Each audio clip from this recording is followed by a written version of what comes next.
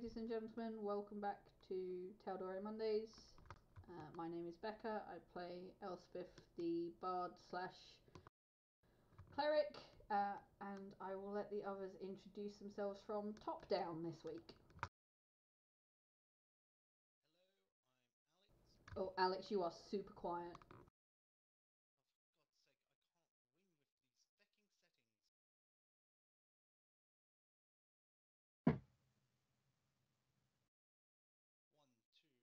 No, you are still super, super quiet. Let's go from Amy while Alex is- fixes his mic.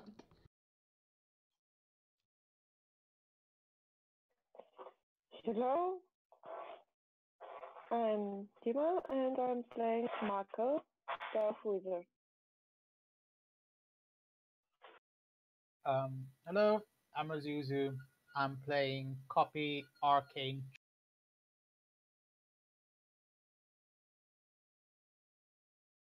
Hello, I'm Scott. I'm the Dungeon Master for Delta Mo- Group Mondays. Uh, Sam, I'm playing Toto Half Pint, the Halfling Ranger. I'm Chaz. I'm playing Cloud, the Tabaxi Rogue Warlock. And then we will see if Alex has fixed his mic. Hello, I'm Alex. I am currently playing Visca Bookreader, the Cleric of Knowledge. Okay, and I believe Alex is doing our recap this week. So, last week was nice and event- eventful, with um, basically the story following on from where Visca had left off in the previous game, um, which just so happened to be being captured by the Githyanki and taken aboard the ship. Where, when he regained consciousness, well, whilst he submitted to being taken away, um, locked up with other prisoners. He tried to gather the prisoners and, you know, do what you would normally do. Try to break out. Upon getting out um, and learning some things, he tried to bargain with the dragon that seemed to be in charge to try and get everyone back home safely in exchange for some books. Visca has no idea what books the dragon's looking for, so he's lying through his teeth. But if it can save everyone, he's willing to try it. Uh, whilst the rest of the party split up to do some shopping and other things, with Cloud and Elspeth going to Cloud's orphanage where he grew up. Um, then Toto, Maka, and Copy going shopping, only for them to try and help the proprietor of Gilmore's Glorious Goods, only for them to fail and possibly kill him. Then, the instant he died, decide to rob the place. Um, after that, they end up going back to meet um, I forget the lady's name. The noble we had met previously, Miranda. Miranda. Thank you. Um, talking to her, um, discussing what they did with the ships and the uses they could possibly get out of them. After that, they followed him. They went back to the temple to find out what had happened to Visca. Um, only to ask about what the beings who were that attacked to be taken aside by um, one of the higher up scribes and led to um, a, her home where she revealed to be where she then took her lum down into a secret room of sorts, I guess, to reveal herself to be a mind flayer working behind the scenes. I believe that's everything. Yeah, I think so.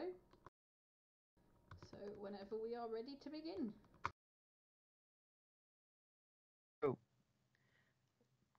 One little tidbit just to add to the end of that is that what in discussing Walt Reserve, mentioning that books in which several apparently the mind flayer had taken a hold of and then just brandished on its sort of facsimile of a desk and just planted in front of the present party members and that's where we left off. So you're all sitting in this thing's private little study underground somewhere in Westruun. Weird of Lovecraftian IKEA based wackiness of furniture that's disgustingly looking well she's all sitting there kind of like beaten and broken for the last few days or, or last like two days worth of just clusterfucks going on in the Westruun. How do you wish to proceed?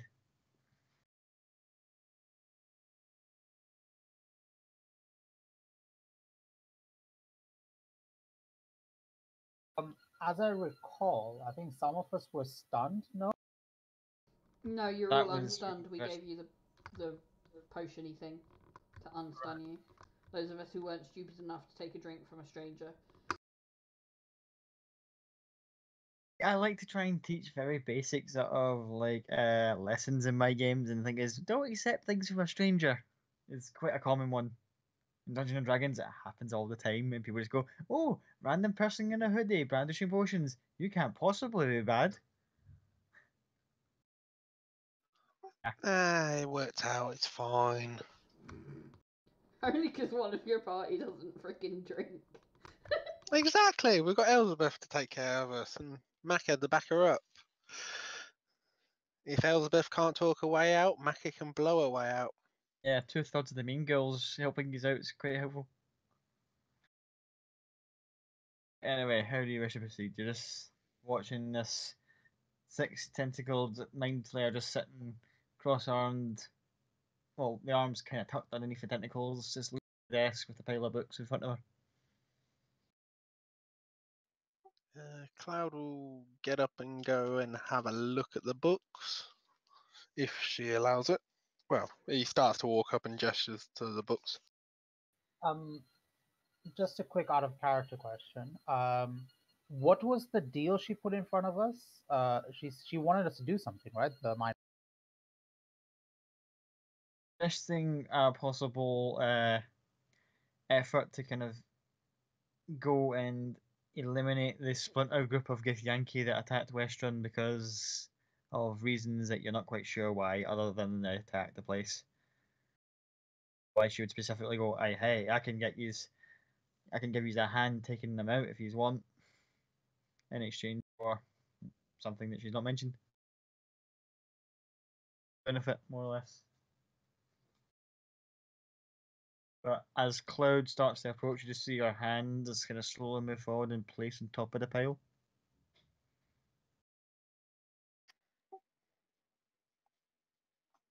I'm just curious, my dear. Just wanted to have a look at what's maybe what this is all about.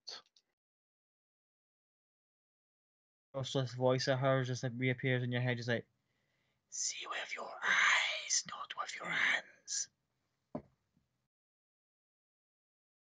Um, while still lying on the floor, um, because I'm just kind of giving up on the day, I'm just gonna kind of talk out saying, so what's stopping us from killing you and just taking the things? I mean, if there's six of us and one of you. There's a few moments of awkward silence as our eyes just slowly move from one side of the room just to focus on you with that comment. I'm on the floor, so she can focus on the floor. Death's there just like, bitch, please.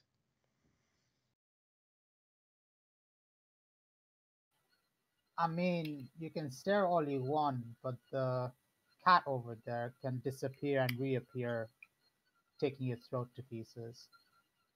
The elf girl does something. The other elf girl blows stuff up. And the little one over there can shoot things. Did you just refer to me as Elf Girl? Yeah, that one. She can. She does Fuck off. I am don't probably like six times your age. See, feisty.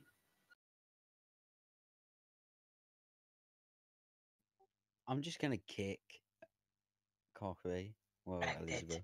You're not close to being assholes, as you common people would say. You're certainly assholes. Please don't kick me. I've got four HP. Cloud saw uh, that comment from the um, uh, mind flayer, just points at copy and just goes, uh, "That one a bit more than the rest." Certainly. At which point the both uh, the other hand just kind of moves to a more almost like a face palm like expression as it's kind of juggling the tentacles and about in its hand for a sec out of frustration, then puts the hand up through over its smooth head, and the tentacles just fall back down. So, what exactly do we get out of this end of the bargain?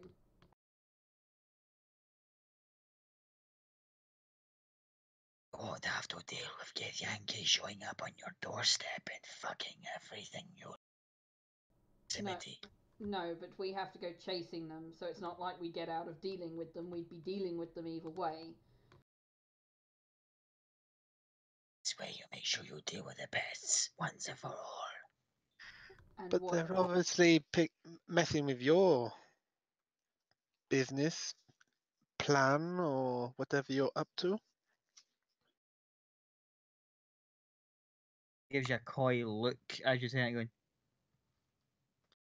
It would benefit both parties, yes. I I still don't understand how it would benefit us. We're going to be facing them either way. Why do we not just wait for them to turn up here? Why do we have to go chasing them?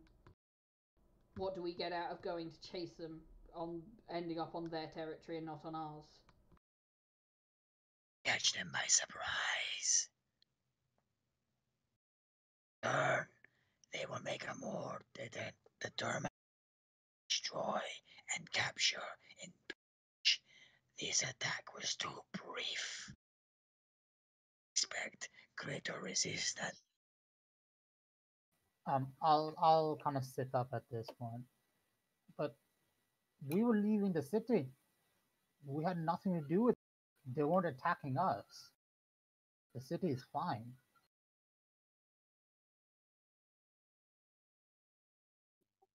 Out of game, do we know that Visca's been kidnapped? Uh, yes, I believe, if I remember correctly, Elspeth was told when she asked about him that she That's was told the last they saw was him being taken into a ship. "That's correct." Maybe we should talk about this privately for a minute. Flayer rolls its eyes back and it kind of snaps its fingers and a little kind of area behind it kind of opens up like a like an a serpentine eye kind of motion that there's a vertical and this uh, horizontal bits open up and goes I'll give you a few moments. up the pile of books and walks through it. Is there any chance I could have seen the um, at least seen the themes of the books? If I like catch the names or the Make a um, perception check, please. See if you can kind of catch a glance.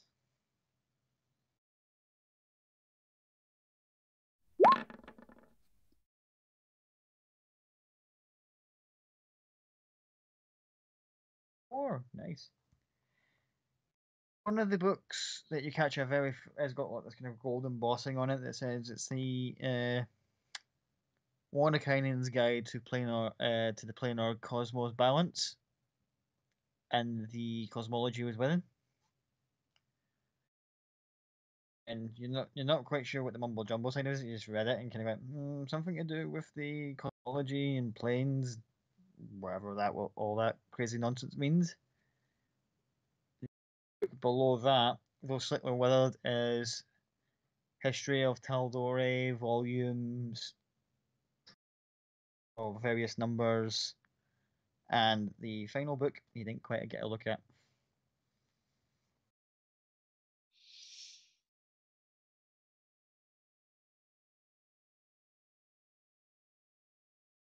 Left the room, the membrane kind of door shuts over. You have a few moments to yourselves.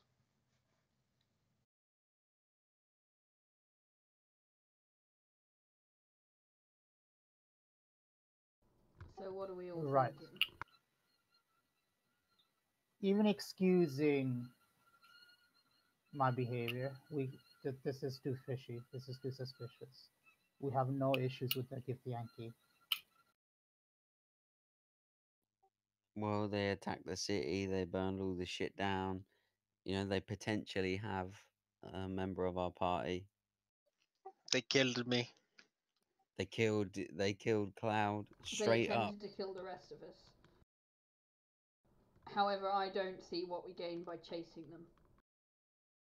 I mean, she's. uh, I mean, she. She's a fishy motherfucker, but she's got a good point. I mean, element of surprise. We can. I mean, Cloud's real sneaky. I mean, I can be sneaky when I need to be. Um, I- Elizabeth is sneaky. True, however, I they are on a flying ship. It is hard to be sneaky when you're flying in the air to try and catch up with the flying ship. But what do we get from going after them? Yes, maybe one of our party members is with them, but that person sacrificed himself for not by not being with us. They've deserved the death they have sealed themselves into. I'm starting to believe you have lost your right to talk. Look, I am for, just for that. I am firmly on the side of going. I want to go. I want to mm-hmm. go, and I want to take Elizabeth with us, and I want to fucking throw her off the ship. Well, Elizabeth and Toto has a good point, little changeling. Going into a battle where we will most likely lose is pointless. Then don't come. I agreed with you up until the point you started saying that the person that left or ended up running away from the group to try and protect whatever he was trying to protect deserved to die, and then you lost all No, sense not of not deserve no, no, die. no, enough, Not enough. I do die. not want to hear from you They are anymore. dying Enough. to protect what what they think is right. For us to interfere in what's stopping them is interfering in what they choose to be right for them. We are telling them what's right for them without actually knowing what's right for them. So you're basically telling me you think he ran to com- basically die. I'm pretty sure you're no, stupid. I'm saying he ran to protect what he wanted to protect. And if he dies in the process, that's his right to die. However, what happens if he isn't dead right now? then we are jumping into the mouth of a beast we have no knowledge of. We have we do not have the skills to kill them, and we We've just, killed loads we ourselves are going. We killed. We killed plenty today. We'll kill plenty tomorrow. We'll do it again. Where's your sense of adventure? I have a sense of adventure, but my sense of adventure isn't walking into death. He died. I'm gonna point at Cloud. I almost died. Yeah, but we picked up some shit that's gonna help with that. So there's that. We've got. We're more buffed up than we. This is a fool's errand, and all of you know this. Just to agree to go it despite me is not a good reason to do. It's not to spite you. You do not have to come. You can. You know where the road is, and you can take it wherever you like. I think to consider if you're considering our main concern in this decision is you, that is very egotistical and completely untrue. I mean, it swayed my decision, but it wasn't the sole. The sole reason. I agree that I don't understand why we, we would chase them when we could wait here to. She's so convinced that they will return. We can wait here for when they return. But I still think we should take on the fight, be it on our on our grounds or theirs. If we wait here, how many more people are gonna, you know, get hurt in the process? There's a whole city's worth of people here. That would Mm. we would then be putting. We at least say we- that, but before they attacked, we were leaving the and we then were leaving the city that we're now choosing to protect. while they attacked, we were leaving the city that you now choose to protect. What benefit do we get from protecting the we have no alliance to this city. I don't believe we were leaving the city. We were following Cloud to where he was going, and I don't believe he. Were you leaving the city, Cloud? Well, you know where I was heading to make sure hmm that the people I wanted safe. And as you saw, they were extremely. But there was no leaving of the city. Once we checked, we rested and we returned, did we not? We did. The only reason we were running was to make sure that people that we knew in the city were safe. If we can take the fight to them and not have them come back, then we know for sure that the people that we care about here are, are going to be safe. Hmm, There are other people in this city that I care about, but they were the only ones that I could guarantee I knew where they were. Everybody else could be anywhere. There's no point in running through the streets like mad people, hoping and praying. Concentrate on what you can do. But as we say, I side with Toto on striking them where they hide, because if you did not see, they all vanished in an instant mm, port- portals opened up and they just disappeared through them. If they if that's how they arrived, it's you cannot I cannot see how you can prepare for this.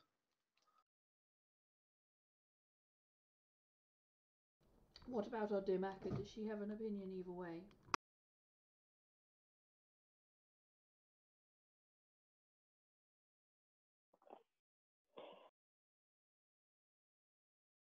I'm not very sure about what to do. Maybe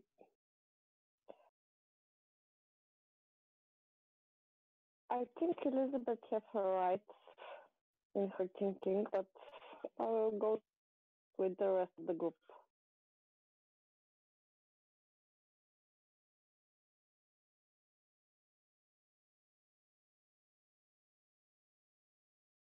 That's me.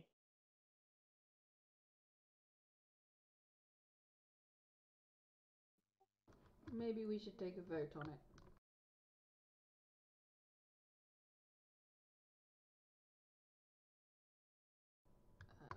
All those in favour of chasing after the ship? Aye. Aye. Aye. And those in favour of not? I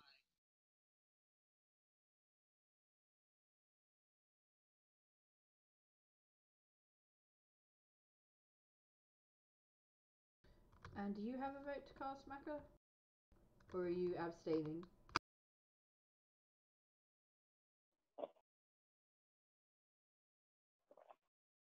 I told you I will go with the rest of the group. More of you want to go, so suppose we are going.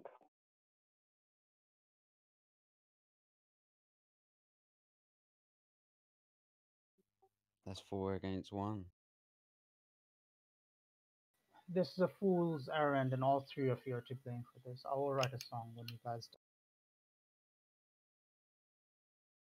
But for this, I'm still here. I would advise you not bother. The only time I've seen you perform, you did not do well, so I would advise you not to even attempt to write any song ever.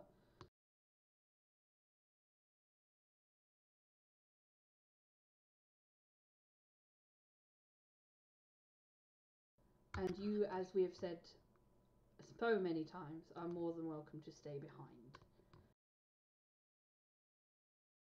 No, no. If the cleric boy is gonna die, then might as well be in.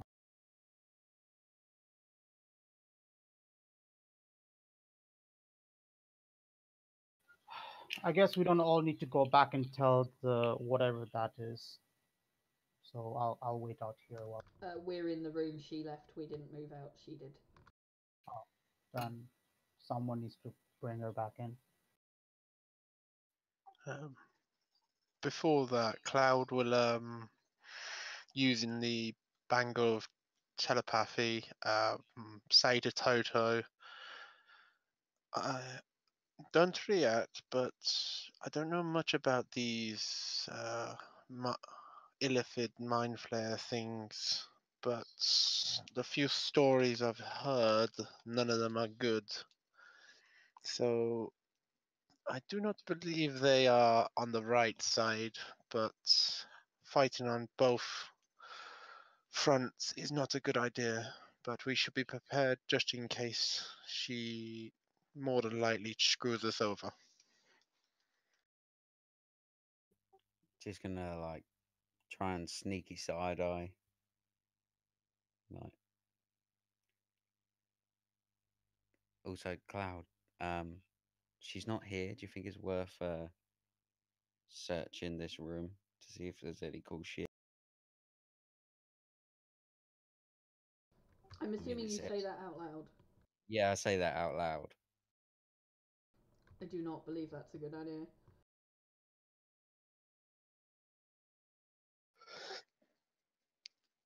Mm, maybe next time. That was the perfect opportunity. Okay, okay. I've had enough theft for one. And Cloud just sort of looks at him like, I know something's happened, but that's just put an extra sizzle on the on the ideas. I'll tell you about it later. I'll tell you about it later.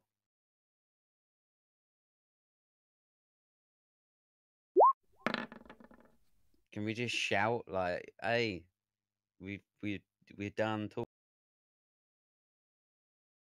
I'll go knock Oh, on the wall wherever she disappeared.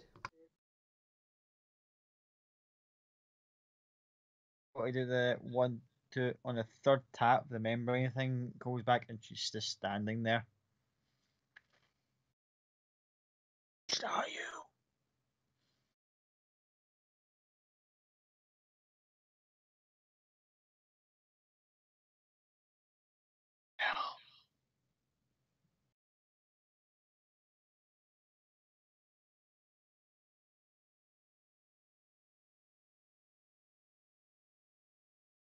And they're kind of almost getting impatient. Sorry, I didn't hear what you said. I think the mic didn't catch up, catch your your whispering there. Finished, are you? Yes. You made your decision. Well, I believe we want a few details, but more than likely, yes. Factory. And she walks over. She's no longer carrying the books. The books have been left in wherever the other quarters are, and the membrane thing closes over. Walks over to one of the many kind of diagrams, displays, notes on the walls that she's got, and she points out to one that's written in uh, very strange dialect uh, language. It was I have been Githyanki attack patterns to try and anticipate where the next one would be.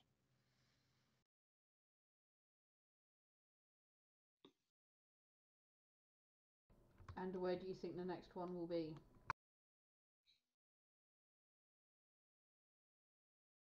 Pattern to try. Yeah, your mic keeps cutting off. I don't think it's picking up the raspy voice. Give me a sec.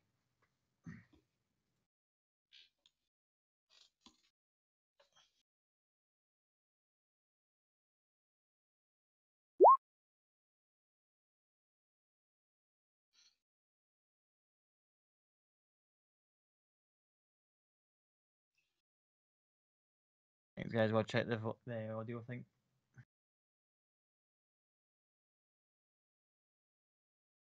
Yeah, that and it essentially just deep throat the mic just do the raspy voice, but You have a slight window of opportunity before the next attack happens on its original scheduled date in full force. As I said, this is a splinter group. They're acting out of order which for Githyanki is very strange. They might seem ruthless, but they're also efficient. She says with a certain reluctance at the end.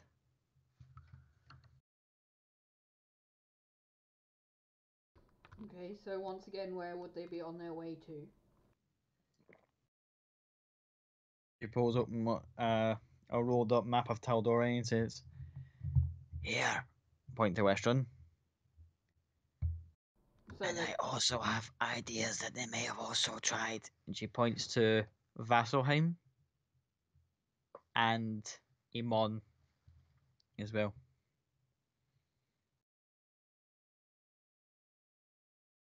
you know for certain these places have been hit, or you assume? My assumption comes that all three places will be hit in the main strike. This group acted early, possibly accelerating the overall timetable if you take out the splinter group at their source. Possibly dissuade the attacks.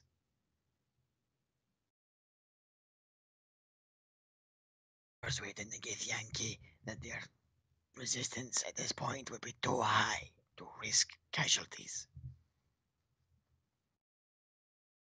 So where do you believe the source of this splinter cell is? Most of the Githyanki reside in Limbo.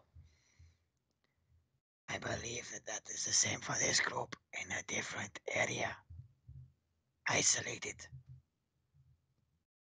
Fortunate for you. And she pulls out this weird looking kind of mixture of like diagrams and weird glyphs. I have the navigational charts, as Limbo itself cannot be charted. But these charts can help you locate an object floating within the chaos.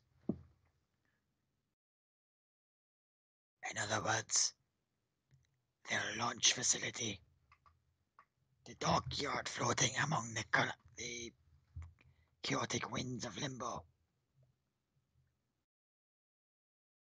She rolls it up, puts a little band around it, and hands it out, just kind of holding it.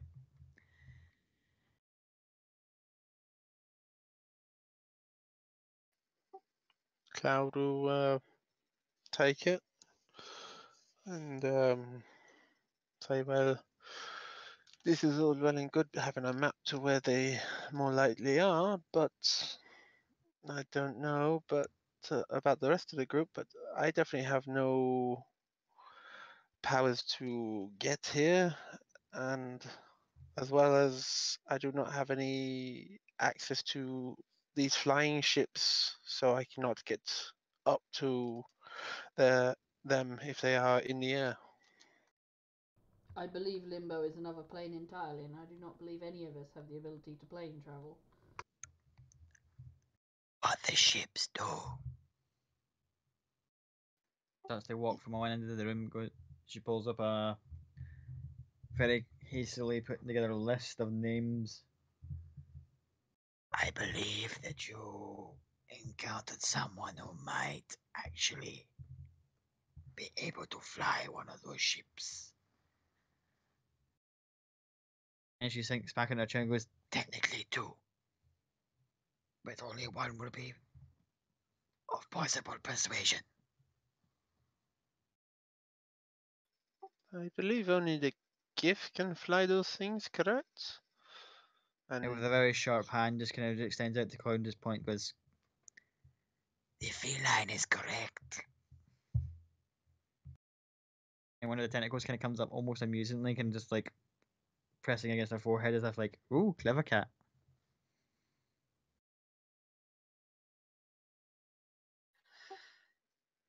so you wish us to get a Githyanki to help us fly? Jeff the Jiff. It's within the realms of possibility. It will want to return to its people or die trying. If it hasn't already tried to escape, it will eventually, so why don't you offer it an alternative? Because Follow It it, may help Limbo and then you. destroy it with the rest. Oh well, yes, that is very good, but uh, taking a ship somewhere is very nice, but then having the pilot killed and their friends killed and not having a way home uh, is not exactly a point of view that I enjoy.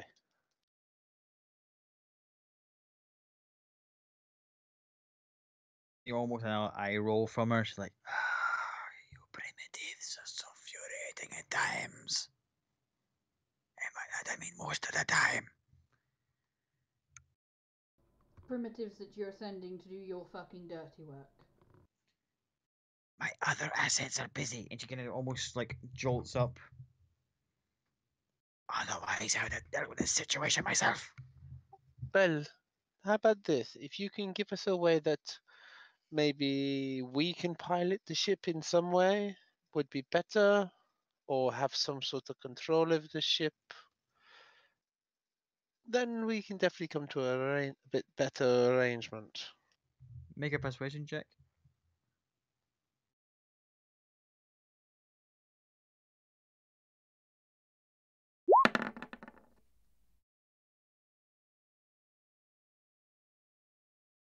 The tentacles kind of move around in a sort of like loading bar, almost like in a way from one side to the other, like thinking, thinking, thinking.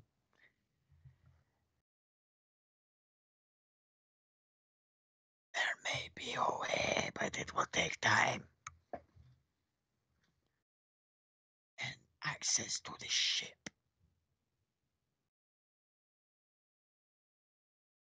Are you telling me you don't believe someone that's meant to be working for the Cobalt Reserve would be able to get onto the ship? I would need time to work on it, especially in the area of, ex- of requirement that you're asking. To make the vessel work, uh, work in your hands would be quite an undertaking. But you could do it if I got you access to the ship. Again, oh, she doesn't have eyebrows, but you can kind of have that kind of raised expression. Like, Indeed. However, I have business elsewhere that needs urgent attending to, so unfortunately for you, that option doesn't seem to be available right now. Even if I did have the, the means to go and help, So how do you advise we get home if you're giving us an option and then telling us the option isn't actually an option? that I can have prepared in a lot shorter time scale. I just need to go retrieve the item in question.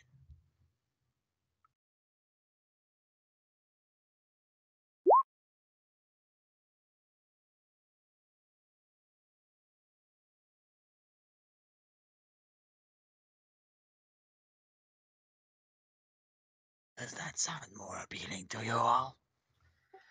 Is it something? Uh, well, the idea of converting one of the ships to be able to be flown by one of us. Is it something that's just inside your head, or can you? And he gestures to Toto. Show him how to do it, eh, or give him the diagrams to do it. It would be something that only I would be capable of at this point. As I say, you are slightly and by slightly, she gestures quite widely with her arms, with like both opposing hands. behind in such matters.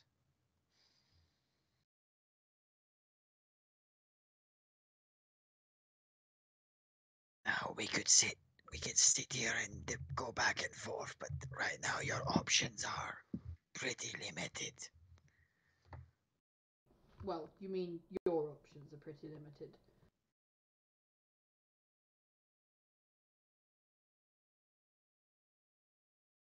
Expression slightly drops a little bit as if like, oh shit, said the wrong thing.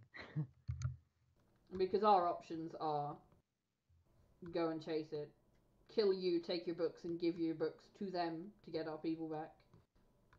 Wait here for them to come here, or walk away and let you deal with it. That's quite a few options. So, can I suggest you stop being cryptic and an asshole and actually help. Make a persuasion check, please.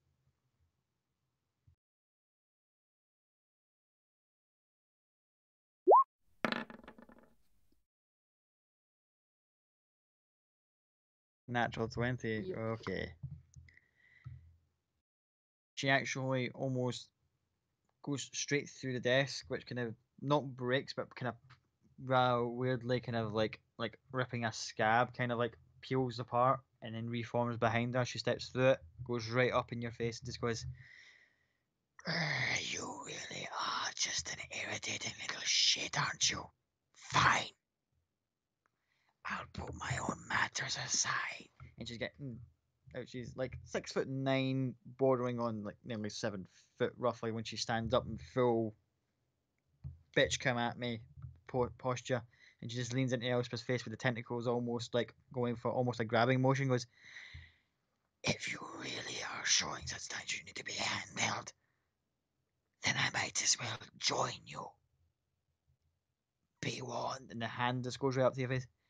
That in itself carries significant risks.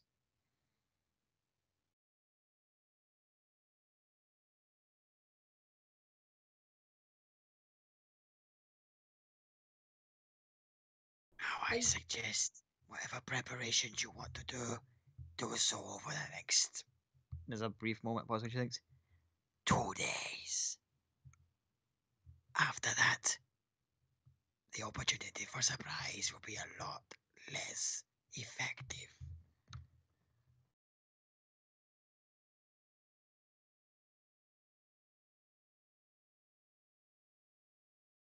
Okay, thank you. We shall take our leave. Do we meet you back here in two days? Yeah, she points up the way and goes, At the same library as before. Uh, and she gestures, and the the room door wasn't actually closed, but it's kind of just like making a point of it is now wide open, and all the lights are on in the co- the hallway back to where the stairs were. and Goes, now leave. I have work to do.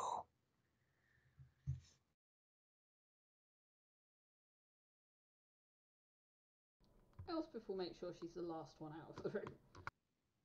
Yeah, and uh, Elizabeth's gonna walk out first, just like the moment the doors open. as soon as you just get off of, like the chairs and start walking out, these things kind of re- kind of rather gingerly recede back into whatever pods they were kind of hiding in, and then the little pod thing is kind of almost like, get up and walk away, or slither away as it would be. Uh, does the uh, spiral stairs come back down? Yeah, as you approach it, it just kind of goes, and then moves back into place.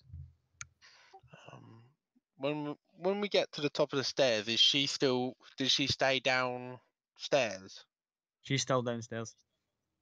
Awesome. Um, when we get back upstairs, Cloud's gonna grab that bottle that they drank out of. If that's all right. Yep. You grab one of the bottles, and you hear a voice going, Try not to get caught using that. Authorities don't really tend to like such things in other people's possessions. Well, it's very difficult to find stuff on me at times. And he pops it in his bag and walks away. as you're all ready to leave, you just, uh, once the spiral staircase climbs up, you just hear a final, just like, Remember, two days back here. And then silence.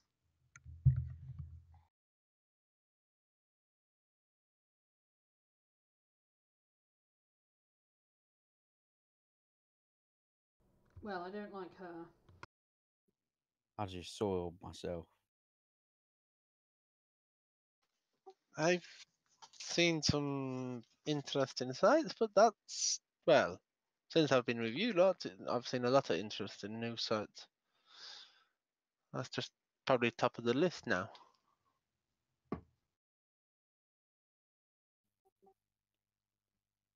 That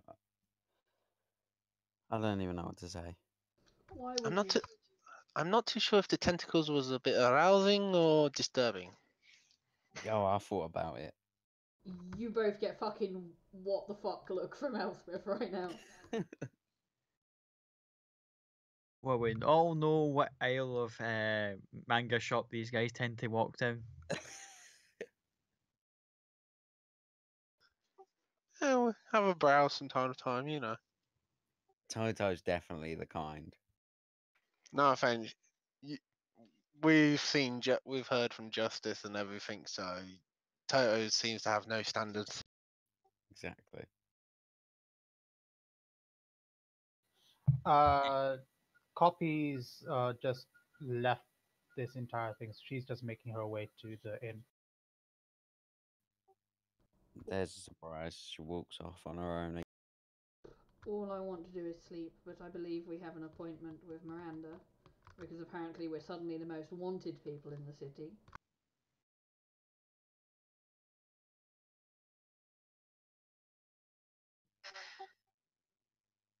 I've been fairly wanted in this city for a while, but not in a good way.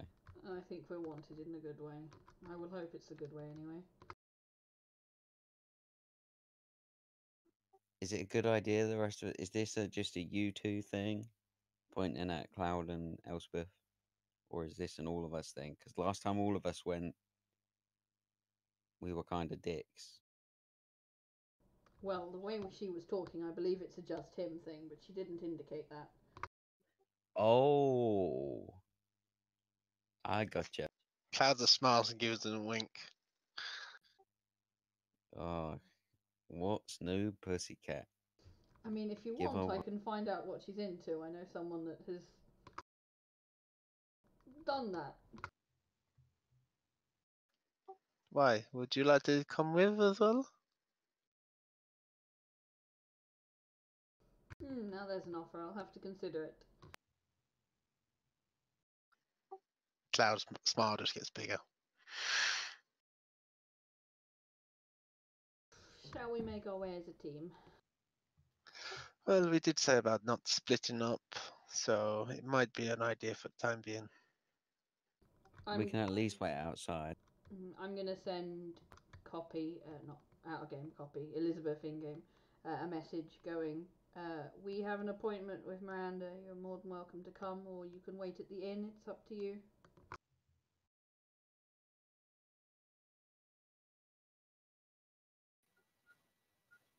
Uh, after a couple of minutes, you'll hear a message back. What time? Well, we're going now.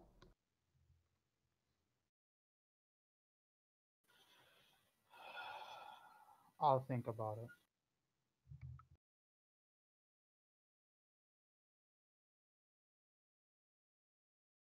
I have let our fri friend know that where we'll be, so if there's any trouble, I'm sure she'll come and find us. Okay. So as all you guys are making your merry old way to uh, Miranda's estate on the Opal Ward, we're gonna quickly jump out of you and go back to our little blue boy who is in a bit of a tight spot. Hey Alex, sitting there like, oh, patient. Let's see what kind of nasty shit you're up to. So Well, currently he's unconscious. yeah, you got knocked the fuck out. Yeah, exploding homunculus will do that to a person. Yeah, well, oh, if, if I could only just get like I- it taps like what Vincent's face would have looked like after Yeah. watching that. Yeah, Would have I been- thought. Yeah, I just thought it was Warforged with actual flesh attached to it, not a homunculus. Well, technically, you can be like, "Ah, I kind of had a rough idea what it might be, option A, B, or C, but anyway. So after you know being knocked the fuck out, you actually awaken in a cell along with your co-conspirators, who are also a bit worse for wear. Yeah. And in these cages, you suddenly hear like very heavy and forceful footsteps. Several, in fact, as two Githyanki knights flank the leader, as it would be, of this little splinter faction, which has got like half of his face burnt and sc- and quite gnarly looking now. Through the bars at you.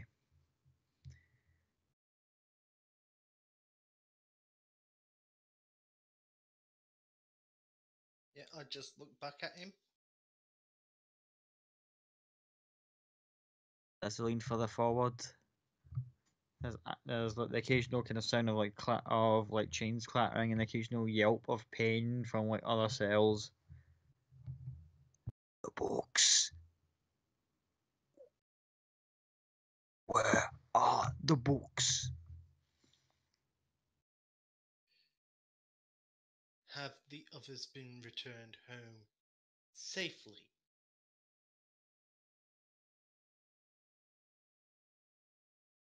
At which point he kind of reaches to the bars.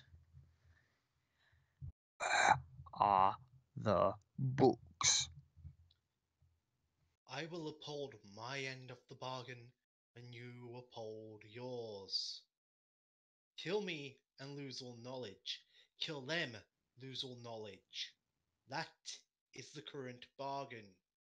Uphold your end, I uphold mine.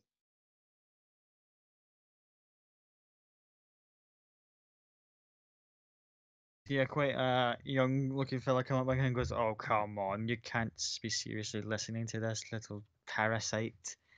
Comes in and he's got like very ornately uh, red robes and just like crimson hair with like glowing red eyes behind him.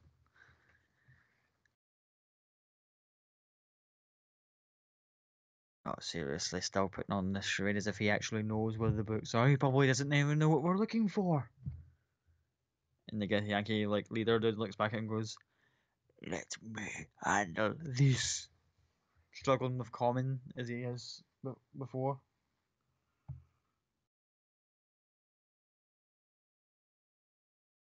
So it would seem you're not truly the leader, considering that one's giving you orders.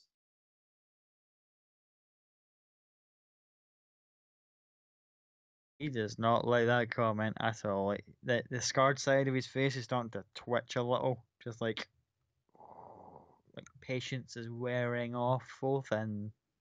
Oh yeah. I did learn some tricks from copy.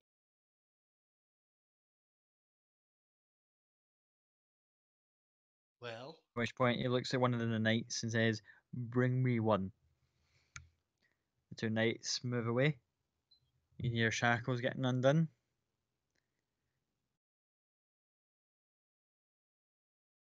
First one they bring in is your little green-haired friend.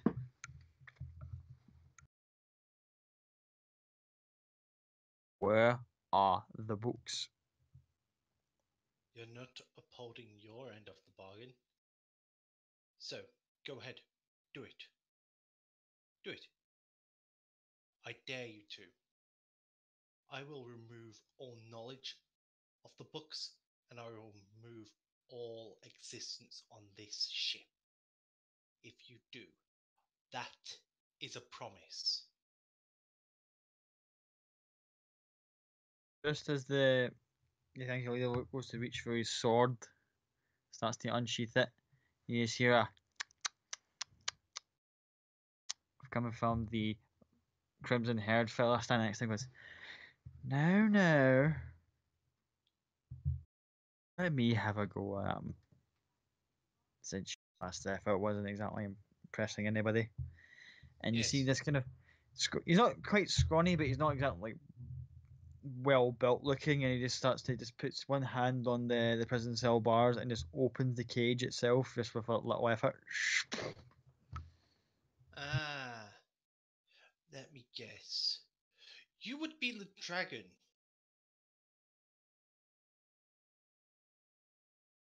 Yes, claps and goes, "Oh, you really are a cleric of Ioun, right enough. You figured that out on yourself, did you?" Yes.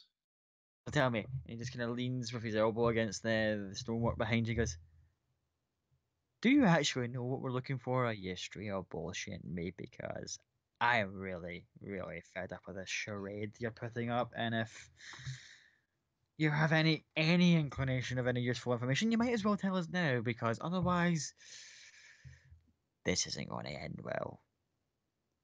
Well, it wasn't going to end well for you. The best of times, and it's kind of almost getting smarmy with it. It's like, but right now, I would compare your situation from slightly fucked with a little kind of like the forefinger and thumb, just like, oh, a little bit slightly fucked.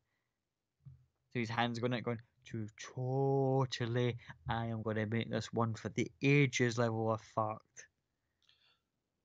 Oh. I am a cleric of Ioun. I have access to knowledge you wouldn't even begin to estimate. But then again, you're just a dragon. What could When you say possibly just a dragon, he immediately just puts his fist through the wall behind you. Just a dragon! Yes, let's face it. I've lived through dragon attacks. You? You're nothing compared to them. You're. N- Hell, are you even a dragon? Aren't you just a wormling? At that point, even the Githyanki leader dude decides to take a very tentative step back. As you can just see the glowing red from uh, uh, orangey red glow from this guy's neck start to come up, and he just turns around and and torches Genji right in front of you, just out of frustration, just barbecues him on the floor. You just hear he's like painful, like "Ah!" just tormented screams as he just gets torched on the floor. They get the Githyankiites kind of almost getting singed themselves as they kind of back off and go, "Oh fuck, uh, that's hardcore." And a few seconds later, Genji's nothing but kind of just charcoal on like post Pompeii looking like frailed up body on the floor.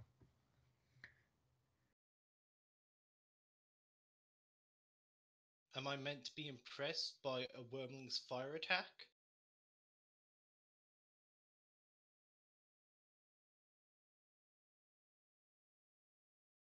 just looks at you straight in the eye. You can just see like poles of this pulsating red magma like in its head. Just like even in broken common, the, the Githyanki leader kind of goes, Call him Wormling one more time.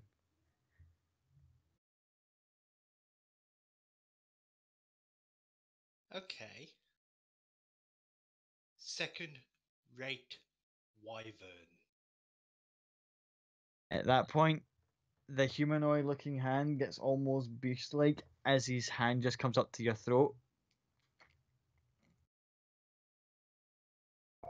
When the voice just gets deeper. You will rule the day. I will make sure you see that freaking library of yours burn for this. And anyone you care dragon. about I will cer- no, he's strangling you so the words can't escape, even escape your mouth. And he says, "And I will search all of Exandria for those you care about, and I will put them to the pyre, just like that one." And he gestures back to J- PNG's now barbecued corpse. Actual dragons have tried and failed. You will not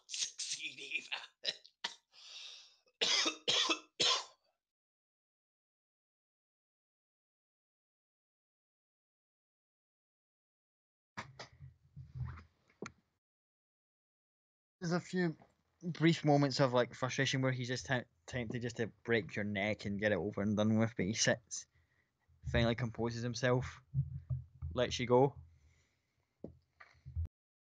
oh, what's the matter? Not got it in you to finish a job, wormling.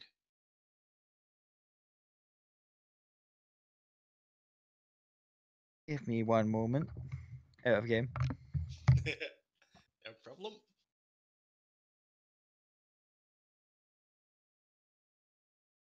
So I think I've just found my new favorite pastime of insulting dragons. That- I don't know what I fucking missed. I literally just went to the toilet and I came back and you were getting choked. Yeah, I literally started calling this dragon a wormling. Yeah, I'm Calling pretty a sure red Fisk is about to dragon a die. wormling is not a good idea.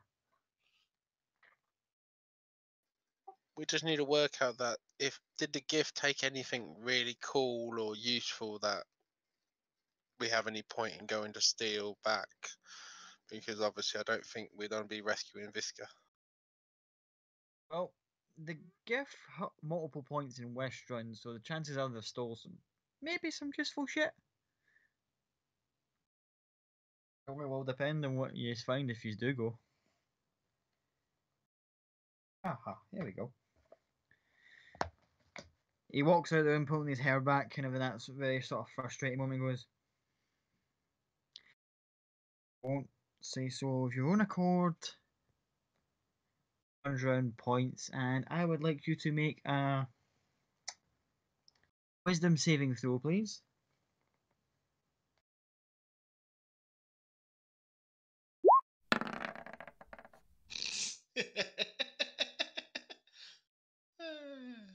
You suddenly feel a lot more compliant as the effect of dominate person takes hold. Which point he goes, Tell me everything you know right now regarding those books, whether you're being truthful or what possible location they might have been. Just tell us where they are now. It's just like almost frantic.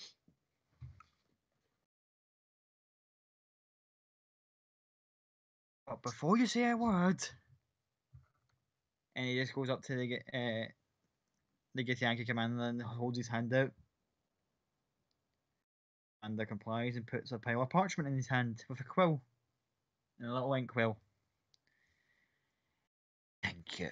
Walks back over and goes, Names every member of family, any close associates, even people you even so much as had a common sort of like sales relationship with, uh, common vendors, whores, I don't care. Have their names on these sheets unless in the next few moments, while you have a good think of well those I just take are the quill and write your mother. you're a dominated, dude. You just fucking do it. Hang on. Would I have enough willpower to bite my tongue? You're dominated, dude. Yeah, you don't have any control over yourself. You have You have to no follow- Dominate monster is significantly higher level than dominate anything else. So Yeah, but dominate person just means he is under that person's control and he's just basically a slave Yeah, to you have whoever to- has cast it. Yeah, you have to follow the action they give you. Yeah, I was just checking. Why did I have to roll so fucking shit on my first fucking roll of the night? Yeah, um, let's see. Okay. Do it. Start scrolling down the list of everyone you think that, that he's list off that he'd make as potential targets, where they are, well, most likely to be found. All the people, whether it be family, friends, close associates, where they're most likely to be found, uh, etc., etc. Basically, it's the party, everyone from the fucking temple, Ayun herself, um, members of the Slayer, high members of the Slayer's Take, and finally a crew of sailors, location somewhere on the sea.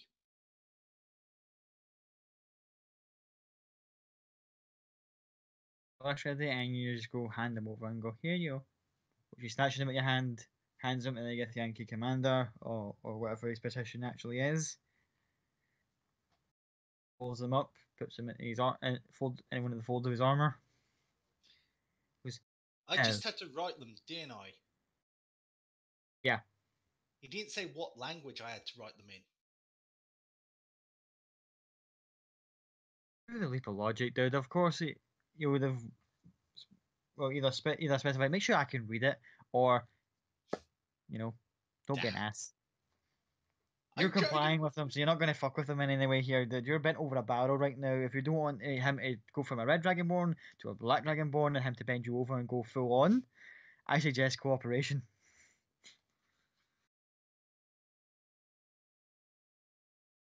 But yeah, so after that, he then says, Do you know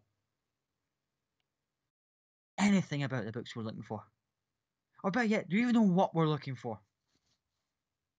You're As in the contents. You're looking for books. Going by your frantic need, it's probably something to do with either war, telepathy, or geography. I mean, either way, it's probably not the most common book you'll find in the actual library, which means it's either in the possession of someone who shouldn't have it, meaning it's currently underneath Westruun, or it's currently in the vault underneath the Cobalt Reserve, which means it's underneath Westruun and protected by paladins.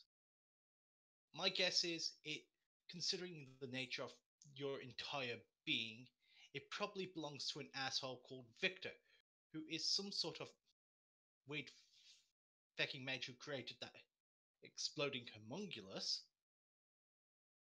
And that is currently in the sewers of Westruun. You of do that whole sort of like face palm turning to eye irritating this like thing. Like, he doesn't actually know what we're looking for. The others might benefit from those types of books, but it's not what we're looking for. And he kind of looks at the command and he goes, "Then what do we do with him if he is not sure what we would do?" I hope you're ready for barbecue again, my friend. At which point the commander just steps back and goes, I'll be sure to get uh, through that list in due time, but little boy. Till then. Blue, red on blue. Goodbye, Wyrmling. And just roast you in the cell. Roll the damage. Let's see if I actually do survive somehow. Hang on. Now Go to the monster manual and double check what the damage would be on this.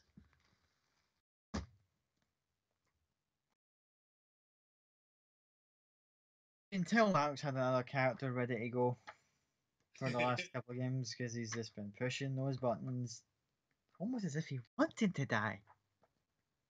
No, I was trying to figure out how Visk would play this and realizing he had no other way to get everyone safely since they were going to keep doing this.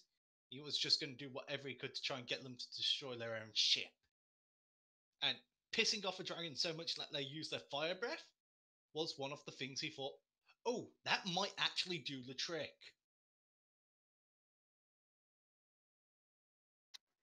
But now you've given them all our names Yup. and all our locations. And probably a ranking of who's most important.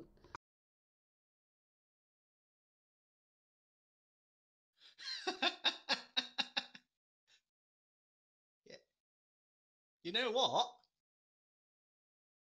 Due to Visca's fire resistance and the fact that he had one hit point from being conscious, he's not straight dead.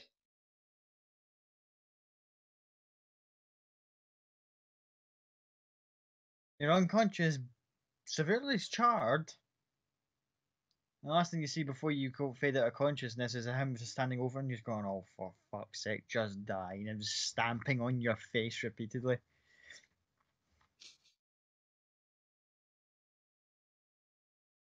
What's Visca's last words? His Fuck all, word- because he's gone. he's just that. That was just like whatever he would have said. Yeah. Like, uh, No, uh, but uh, but but I pum, pum, imagine pum. that. But I imagine that when Visca takes the damage, he snaps out of dominate person, and then he must realize Yeah, it was.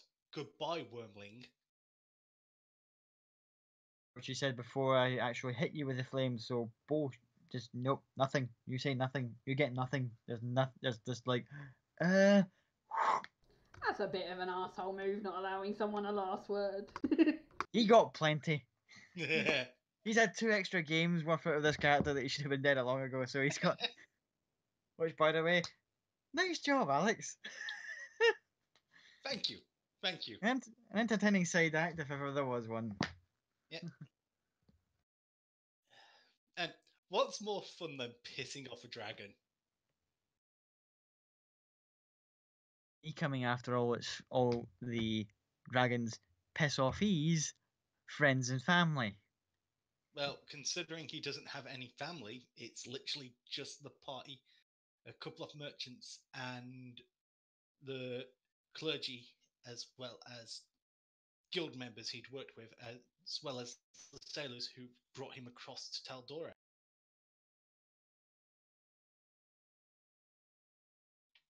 It is. It's gonna be fun. I, I do have to ask because um, I kept on meaning to ask you this before, but the the dragons were they young dragons or were they adult dragons? Because you're saying both the same. The three that were involved in the actual attack on Westruun were young dragons, young adults. This one, although the actual party wouldn't be aware of it, was an adult. Right, I'm just interested. And again, yeah, he's red, so I think they're kind of their egos like t- top out the five chromatics. So attributing him to just being a wyrmling. Oh, oh, if you were if you were hitting literally the the big red button of like kill me, please. That's just how you do it. Anyway, that's a little only barbecue. chance is the ship destroyed through his dragon breath going off. They're not on a ship, did. You were in a cell block in somewhere very nasty that you got dropped off at last time. Where do you think the ship went to? Oh, I wasn't sure. Oh, Yeah, they basically delivered you somewhere, and then you started trying to have your little slave of it. And you just trying to have your little Spartacus moment, and then got blown to bits by Victor's little homunculus. yeah. I thought we were still on the ship. That's all. No worries. And the ship docked, and was unloading you guys somewhere. Anyway, back to the Prime Imperium as I approach the Opal Ward. Go through the various streets. There's still a lot of like damage control being done. Proper shields are out on full force now after the surprise attack. And you notice the ones that are usually under a few familiar faces that are Miranda's uh, kind of private security or homestead guards or whatever you want to kind of phase them as. See you guys approaching, whisper amongst themselves, and then start to approach. On the walk over, Cloud would have pulled out one of the um, pendants and putting it on his uh, jacket.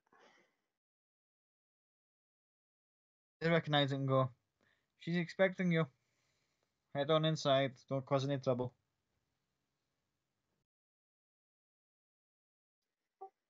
You hear that, Ticket? No trouble this time.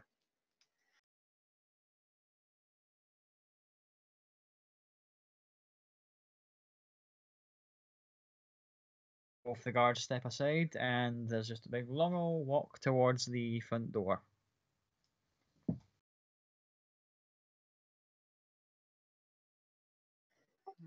Cloud holds up first and knocks on the door.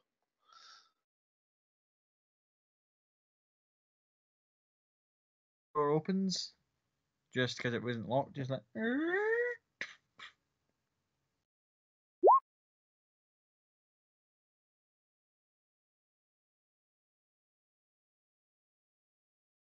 Go inside. It's open for all open all hours. Uh, Cloud will look back and see if everybody's coming in or if some any of you wanted to wait outside either way. Do you think you'll do better by yourself, or should we all come in? It's up to you. Well, I'm quite happy for you all coming, but uh,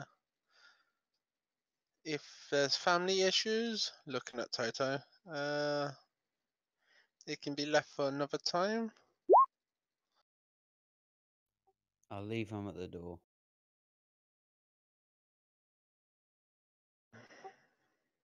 There's nothing you can say that would change us. We'll always be on your side. But with that, let's go. And Cloud will walk in.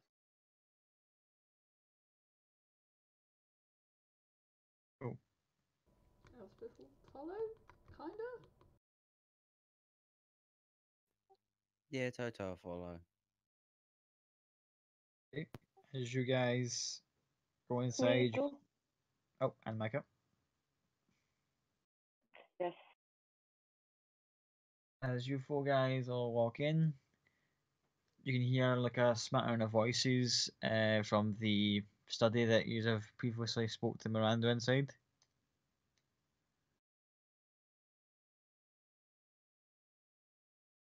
As she's approached the doorway, uh, the door's slightly ajar, but open for if you wish to enter or otherwise.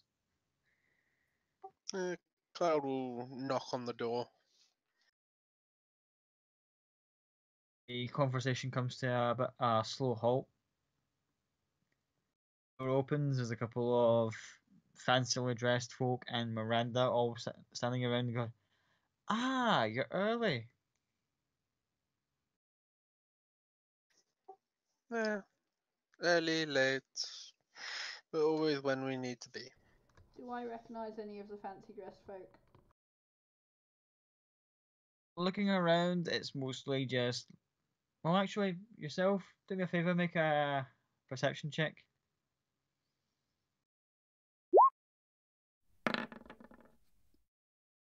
What is with my fucking rolls? Uh, we'll just let you roll from the evening. What the fuck is happening?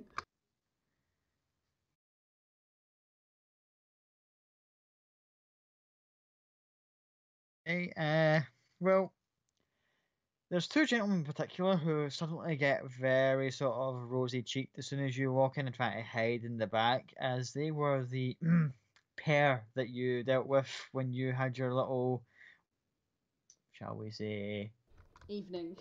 evening. Yes. Oh, I am not making eye contact with those two. You also recognize uh, two particular smaller people who are also in amongst the, the crowd. One with white hair, a scar on her face, and some really nice looking armor. The other one wearing casual gear mo- with a lot of purples and has a very cheeky grin on his face as if he said something he said something like very inappropriate and just waiting for the penny to drop. Cool. Being of course Pike and Scanlan. Yep.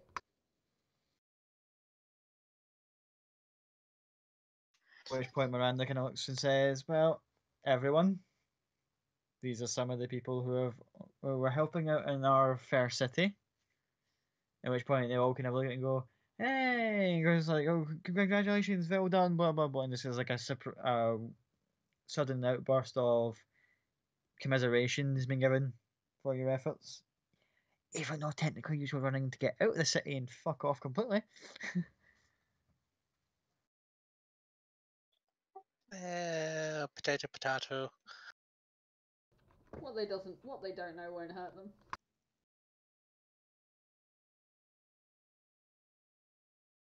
At which point Miranda goes, "Oh, I should have mentioned probably." uh," And she addresses to the other end and says, "If she's go up through here and take a left," and she can address addresses up the, st- uh, the stairwell as she comes out the study and goes, "Take a left." There's a couple of rooms I've had my guards kind of prep for you if you wish to freshen up because. And she kind of looks up and goes, "I can tell there's been a bit of prestidigitation prestidigitation being used here."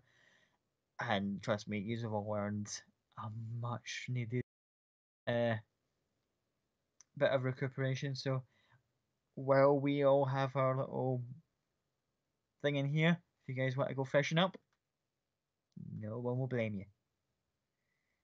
Like her mood is like completely different to it. It's almost scary just how different her mood is right now. Elspeth is going to look at Cloud, and like, do we? Do we not? Cla- Cloud just ba- nods his head and says certainly, and goes yes, and start heading up the stairs.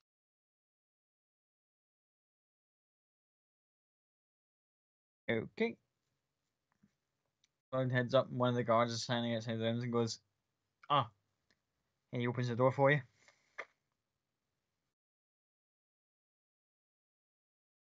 Couple that can fit in this room. There's another couple that can go in the other room.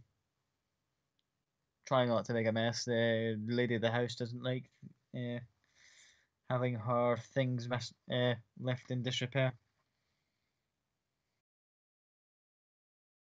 I believe we all know how to behave. You don't have to babysit us.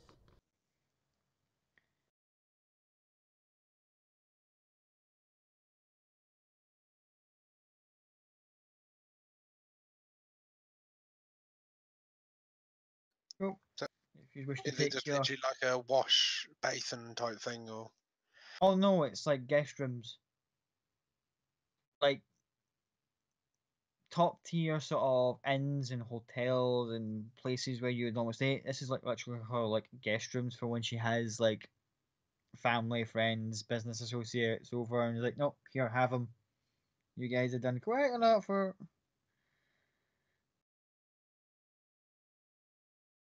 And she's gonna like, oh, go get get cleaned up, please, because y'all look like hammered shit. Go in the very uh, well furnished guest rooms, washing facilities, uh, fresh linen on the bed, and the bed sheets are fresh. Everything's all just like, damn, this is high class shit. I assume it's a bath rather than a shower. I don't know if showers are invented Yes. in Tal'Dorei. Yes, it's that sort of rockish looking, I would say, kind of all bath style, like style baths units. Each each of the three rooms, which is kind of like had pre-made for you, has got at least one each, and it's kind of got like a kind of partition bit, so you can have a bit of privacy while you use it. Least two beds to each room, so as you all gonna go, if he's all go upstairs, I don't know if it's just Cloud that went up himself. Oh Or did no, everyone else follow? would have gone up. Yeah, yeah. uh, Toto would have gone up. Mac, are you coming up? Yes, I'm coming. As all four of you go up, uh, the guard says, as I says, try not to make too much of a mess of uh, her ladyship's things. And she says that in- if you require anything else, just to give one of us a call. And it starts to kind of with her, almost like a slouch, just starts to walk down the stairs. It's like, Uh. in the meantime, you have to do as you please. Elspeth calls before he goes and goes, Do you happen to know if she's expecting us to dress up or are we ha- fine to go back in what we're currently wearing, just cleaner? Uh, her ladyship says that there should be a selection of clothes that she can possibly get a hold of you for for you all, like more finer gear if you wish. Otherwise, come in whatever gear you deem fit.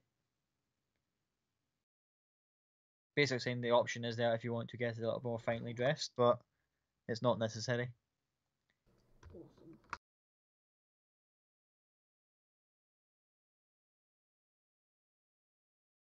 Continue downstairs and you can hear the occasional sort of like almost rapturous uh kind of sound coming from the study just as you just finally go up the stairs and go to your rooms and whatever arrangement you deem fit. oh, Cloud. As soon as they see if there's a bath there, Cloud just strips off and hops straight in. Are Go straight in and donk, it's not been filled yet. are all three baths in the same room, just with partitions? no, one in each room. Okay. One in each room. There's a little partition bit so that if anyone, so that if anyone else is like, it's like like an ensuite kind of thing. Like uh, what do you call the kind of Japanese style kind of like folding cover thing, so that someone Oh, yeah, can get changed behind mean. it, like like one of them, Like but only slightly larger. So it's like a like a folding out wall essentially.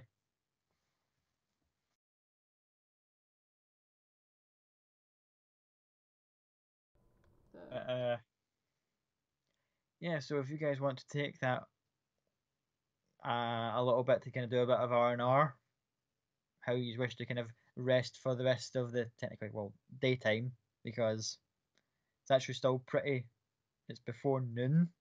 All that shit happened in the like previous day to the early hours of the Gith attack to now. Yeah, you've been the last 36 hours have been hell for you guys, so by all means, Elspeth get a long rest in? So four hours. everyone has the option for their own long rest here. There's like chill out, order some room service, clean yourselves up, do whatever kind of remedial tasks you want. Maybe inform your uh, rogue friend if when she eventually ali- arrives late to like, don't be a dick and just head upstairs. If you wish, you can tell her. Just Oh no, no, up. I'm I'm not Have I'm not. not I'm not going there at all. I'm just gonna stay like I'm just I'm just gonna stay like an adjacent building, like on the rooftop, just chilling there, and I'll take a short long rest.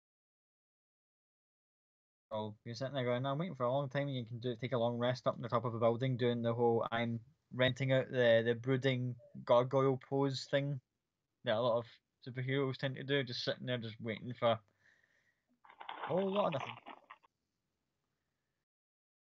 And the party gets a long rest. I go three rooms, I four can people. walk. Oh, sorry, after Naka. Uh, Maka, what was that you saying? No, that's all from me. I want to take a long rest. Yeah, everyone gets a long rest. You get a long rest. You get a long rest. Everyone gets a long rest. Because, god damn it, you all need it. Yes. Uh, Cloud will order if if she's offered to um, acquire some finer clothes. Cloud will definitely take the opportunity to get some fi- finer clothes if possible. Um, As you put in the request in, a little time later, you just hear a chap at your uh, your door, just like a Cloud opens the door, probably just wearing a towel, waiting for the bath to be filled. and with a slight kind of almost pencil-like mustache, hair done back very finely, and with a set of like, uh, carrying in like a rack. Goes, uh, good good afternoon, Monsieur, Mister Cloud, I believe. That is correct. I am Marcel. I am I am Lady Keller's uh, personal tailor. I have a selection of fine outfits for you to try if you wish. Ah, beautiful. Right this way, and he gestures inside. Is he pulls out this kind of like clothing rack and he goes, uh, so the door shuts behind them. As she closes it, he goes, "Now, Monsieur, do you have any color preference?" And he's kind of just like looking at your clothes. I see you have a little bit of a grey, uh, your natural furs. We can work with that. Mm, Natural furs, nice grey, black, silver. Um, you are the expert, uh, but I do do prefer something uh, flexible, movable, but still obviously very refined. Mm, let me see, let me see, let me see. And he gets like a kind of like a almost like a not a suit, but kind of like a very fancy like uh dress gambeson kind of thing. It's like this is kind of got a little bit more of the complement the gentleman's figure with a little bit of the and he's it's like black silk with silver trim. How does this? Uh, how does Monsieur feel like this? And he of pulls out like a small hammer and just of pulls it. Ah, do you like? Is this to your taste? Ah, you have. A, I see why she keeps you around. You have a fine eye. You're too kind, Monsieur. You can use your uh, blow to cast wardrobe. I'm happy to please. I do have to ask: Is Toto in the same room as me, or is there a different room with him? It's up to you guys how you want to divvy up to two rooms. Each room can hold at least two people. So there's only two Uh, rooms, did you say? Three rooms, two people each. The option was to make sure that if, any, if all you guys all were still as a party, you'd all have at least an even split. Uh, Toto probably would like take the room with Cloud, but I do. Uh, he does have something he wants to do, but I, I'll, I'll, I'll talk to you about that once Cloud's done. So then Cloud would gesture over to Toto and say, um, something for the uh, gentleman as well, saying, um, ooh, you know, some something rugged, but uh, obviously standoutish as well. Something that Yeah. makes me look taller. Yes, sits in contemplates for with ah, Mr. wants to kind of get a little bit taller with the with the, the bold, and he starts feeling like almost kind of the hands start kind of just like bold and you know stand out from the crowd to make up for one of his lack of. He kind of just does a gesture of like height you know, thing. He's like, and he goes back to his rack and he goes through it, and he pulls out what look like somewhere between very fancy looking clogs and platform boots. Wow. Uh, n- not really my style, but I'll give it a.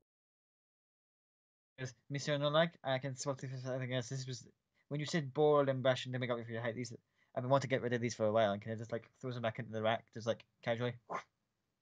You get the impression that the rack's actually bigger on the inside because he just threw like a pair of like these very heavy, partly wooden clog shoe things and just went and it disappeared into the rack. What I'm looking for is like a a shoe made of a, a kind of like a plastic, more of a rubber, kind of holes in the top. I've never heard of such thing. Basically, what I'm trying to describe is Crocs.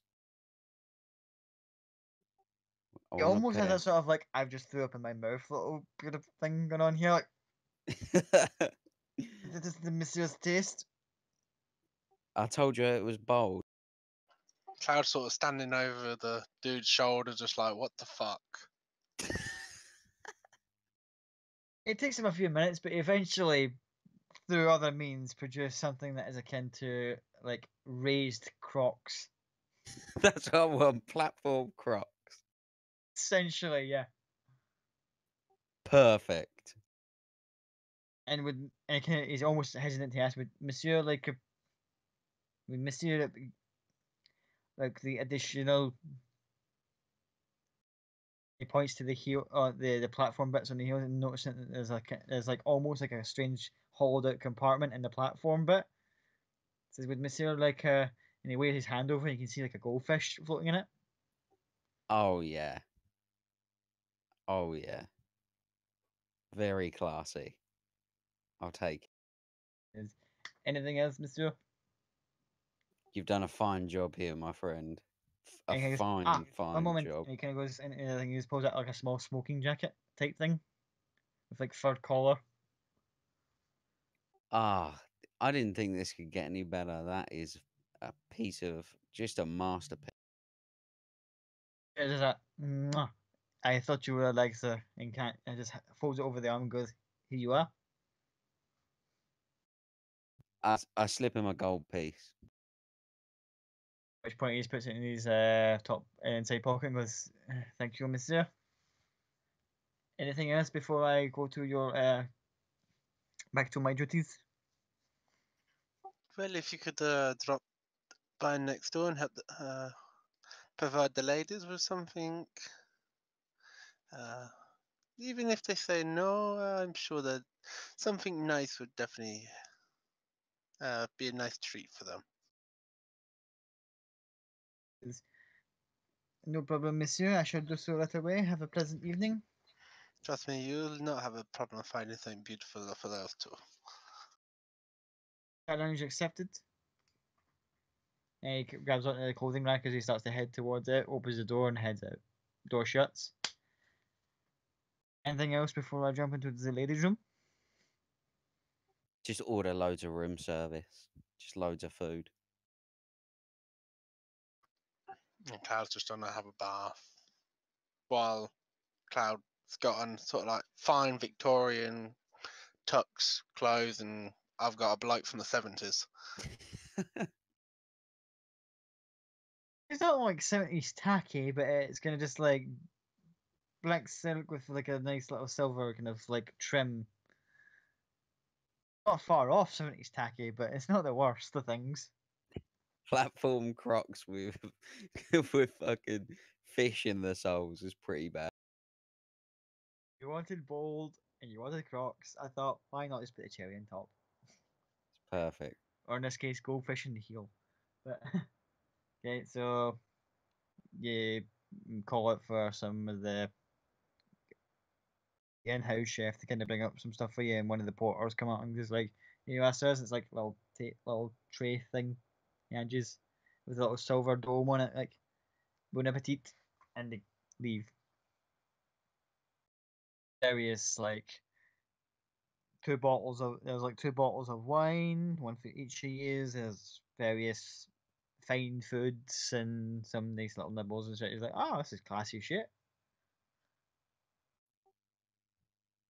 So, ladies, anything you want to do in particular during your uh, your rest and recuperation hours before Manuel shows up with his marvelous uh, menagerie of stuff?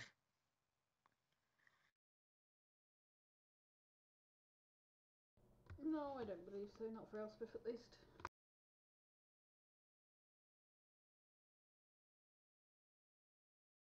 Aka, is there anything in particular you want to do during your uh, long rest?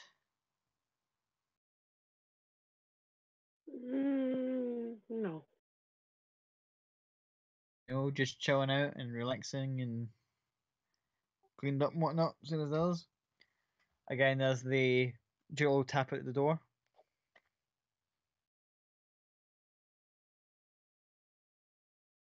Are we in the same room or are we in separate rooms? I would assume the same rooms if you want. I don't mind. I, either or.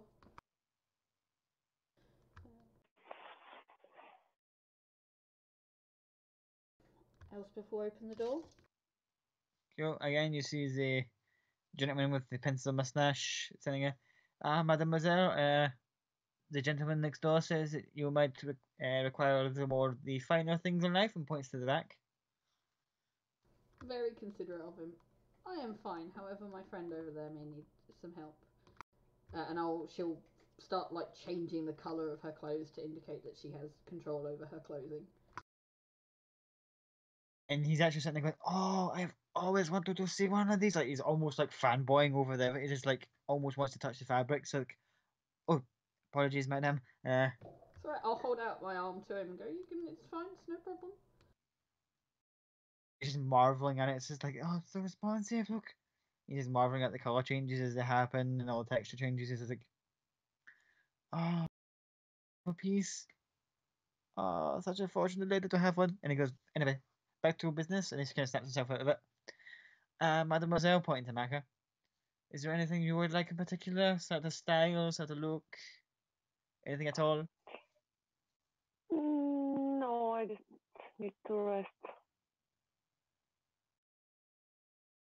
He's not like disappointed, he's like, oh, okay, I thought the gentleman says you might like things, but um, anyway, if again, same to the gentleman next door, if you wish to have any sort of like uh, beverages, food, anything of like creature comforts to be brought up, just to give one of our uh one of the house servants a call. Until then, he kind of just like gives a little bow, takes a clothing rack, and leaves out the front door. Door shuts.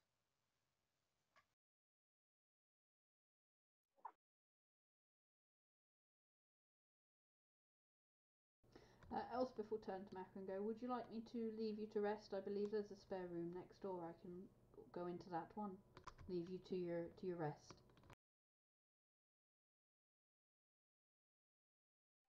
Mm, no.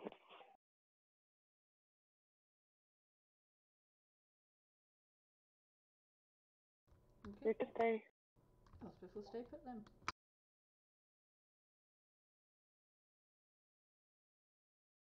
And she's just going to start flicking her clothes into like a million different dress options and not settling on any of them. Also, like, a full size mirror in each of the rooms, by the way. So if he's kind of do the whole sort of like Oh, no, she makes sure she is not looking in the mirror. She flatly refuses to look in the mirror at all. We'll point out to one thing about uh, both rooms. At certain point during the afternoon, you see something getting slipped underneath the door.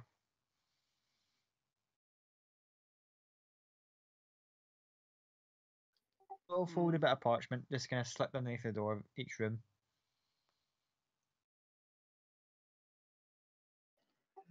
Have a little look, see? Elspeth will pick up their one in the girls' room. I imagine like almost like TV style, like both of you just like at the same point, just kind of spontaneously pick the things up at the same time, just like unaware that the others doing the exact same thing in another room. Open it up, and each occupant of the room has been done in like past in little uh, pastel drawings, as you probably and signed off at the bottom, Keyleth. Oh.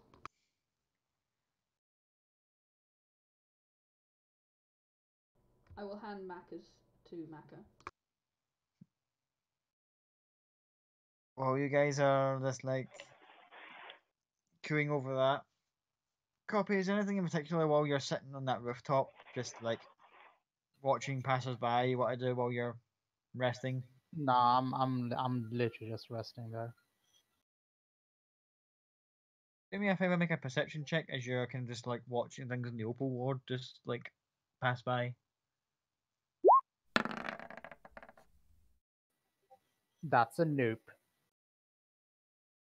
You're kind of just like, this has been a crazy couple days. What the fuck? And not really actually paying attention to things passing by. Yeah, I'm. I'm I'm basically just I'm sleeping like that. That's I'm just recovering.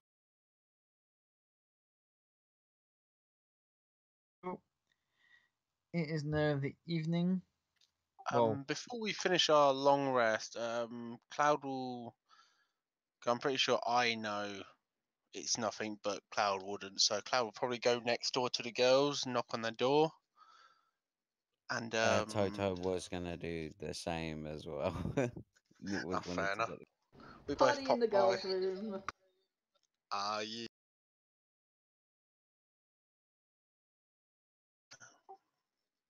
Uh, we both go round to the girls' room and knock on the door. Who is it? Okay. I will open the door.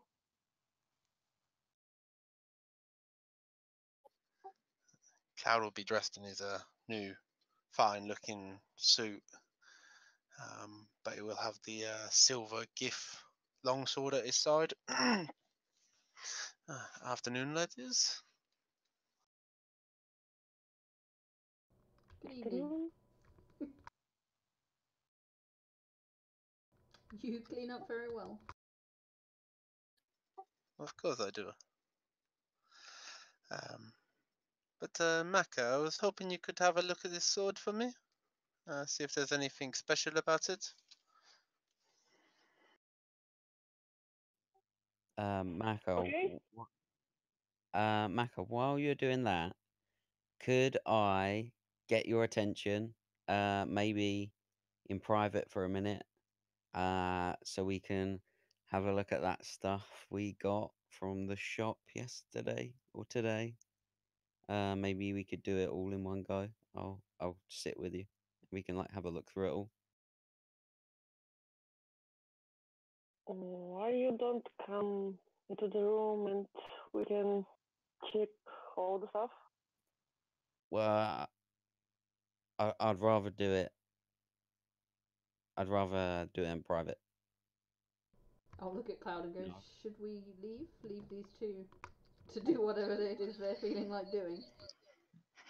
no, I think that is a good idea. It's something I wish uh, for us to do as well. Oh, is there now? Yeah, before we go on that, just a little quick thing. Maka checks the silver sword. It is a silver long. It is a silver sword. Of Githyanki aesthetic, which uh, you hadn't really seen at all until these guys showed up. But you can see common things like it's very rough, but strangely elegant in a way. If you know what I mean, like quite fierce looking. And it has kind of red, not ruby, but kind of red gems in some description decorating the hilt and the crossguard. And some sort of leather thing on the grip. So it's Yeah, I, I've, I thought it weren't anything, but obviously, like I say, Cloud wouldn't have known, so. thought I'd just check anyway. So, anyway. So Cloud and Elspeth leave room and Toto and Maka take their loot from the shop from Gilmore's Yeah. and you do all the, ver- the various identification things necessary and you figure out what the items are based it's the a peril of power two I can never get this word right. Sort of uh, wound closure. But the frog thing's giving you a bit of a weird vi- thing. As you started trying undo it kind of stuff, that thing, it was kind of kept it rolled up. The thing binding it together sizzles out. The thing unravels, and it's a quite a big rug looking thing with the uh, with Bahamut depicted on it.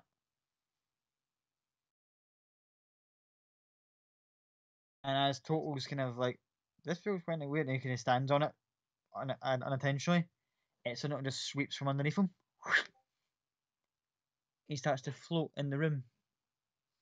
Yes.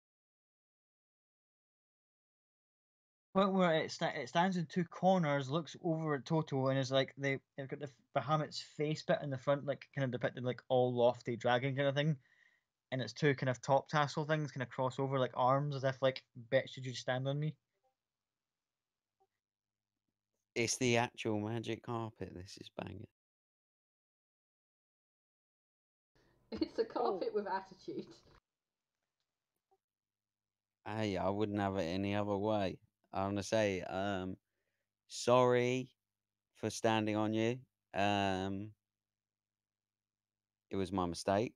Um, hopefully we uh, this doesn't hinder any of our You of get the feeling that it's not the standing on it that actually annoyed it. It's more it's just kind of like again with one of the corners, just kind of like points at itself, and then the stuff you're you're holding.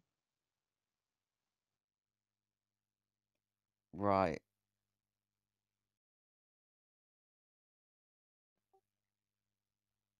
So, you want the staff? It's just stand there, kind of cross again, crosses the folds again.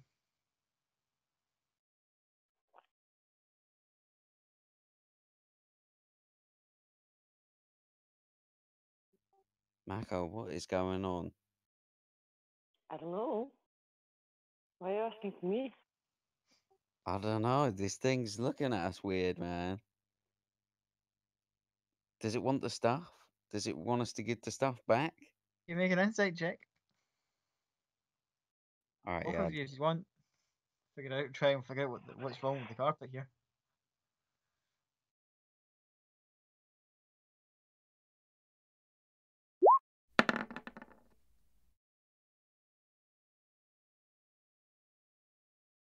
Aka, what you gonna roll?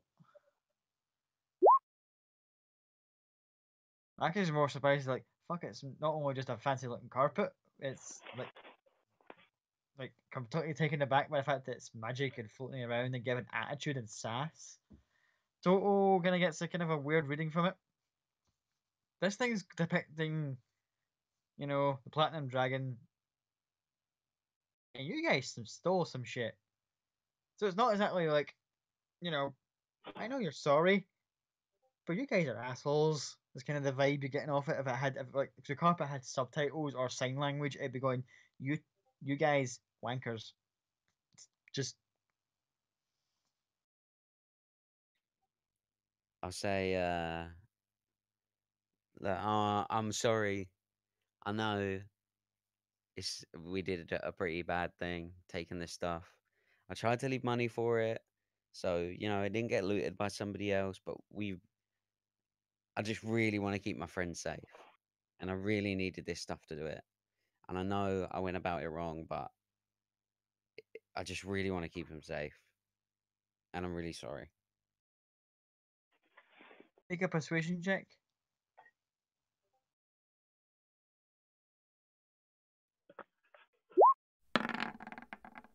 Fuck. Aka, do you want to say or do anything to the carpet? Uh, don't know. We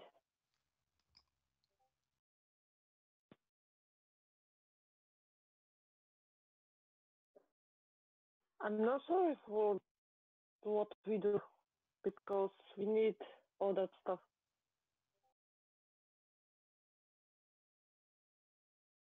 We tried to save the city, so I think it's normal to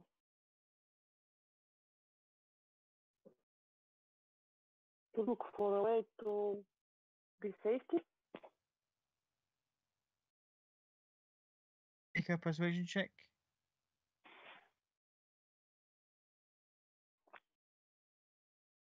Roll high, roll high, roll high. Yes. Yeah. It was not looking very good at Toto. Then obviously Maka kind of doing it sort of like I'm going from evil bitch to sorry mode. And it kind of just sits and kind of goes like for a moment kind of goes up to its full sort of like tapestry like visage and then just kind of there's a sort of weird sort of like one of its side tassel quote unquote hands just kind of brushes both your heads as if like good start and then just come it settles itself down on the ground oh floating a little bit but it's I feeling it's going to kick about for a while at least Maka, this thing is awesome. Um, I do have some stuff to ask you, Maka. Can I keep these um, what are they called the the wound closure things? Um, can I keep these, and you can keep the pearl of power? Okay, I don't mind. Okay, awesome. And the the carpet, it, that that's a party present. That's a present for everybody. Okay, Uh, I also want to. clear with that. Okay.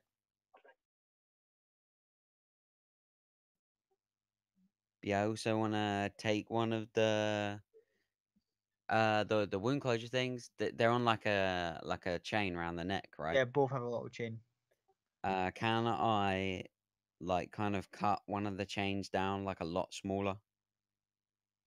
Yeah. Yeah. Okay. I want to take them. I'm gonna put them in my pocket, and then I'm gonna go and find Cloud and Elspeth. I'm gonna say to Maka, I'm going to find Cloud and Elspeth. Are you coming? Um, yes, I'm coming. Cool. As you guys go to leave the room to go find them, Cloud and Elspeth, what have you been doing the whole time?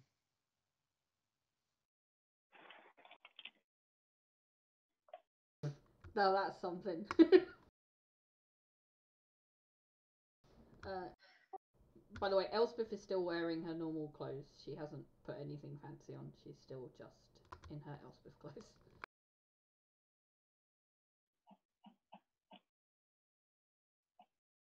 So you wanted to do something.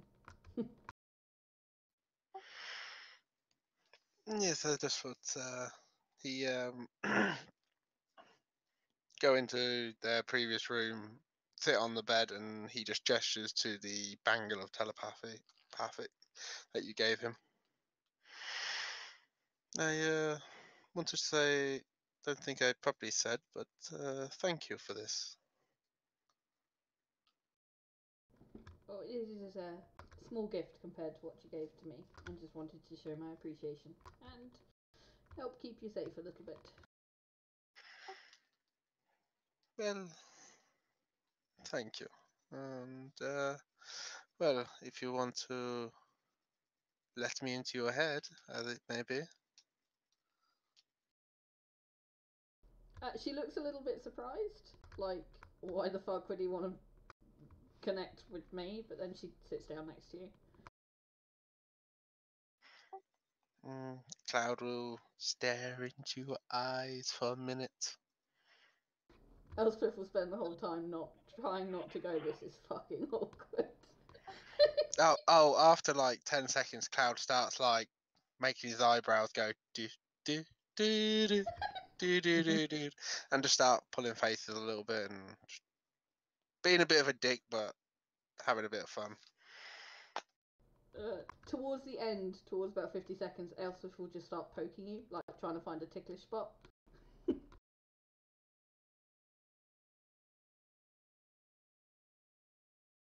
I'll say after a little bit of uh, shall we say, effort to maintain concentration despite all tomfoolery. You do eventually manage, after about maybe two or three tries, get the the telepathic thing, the link set up.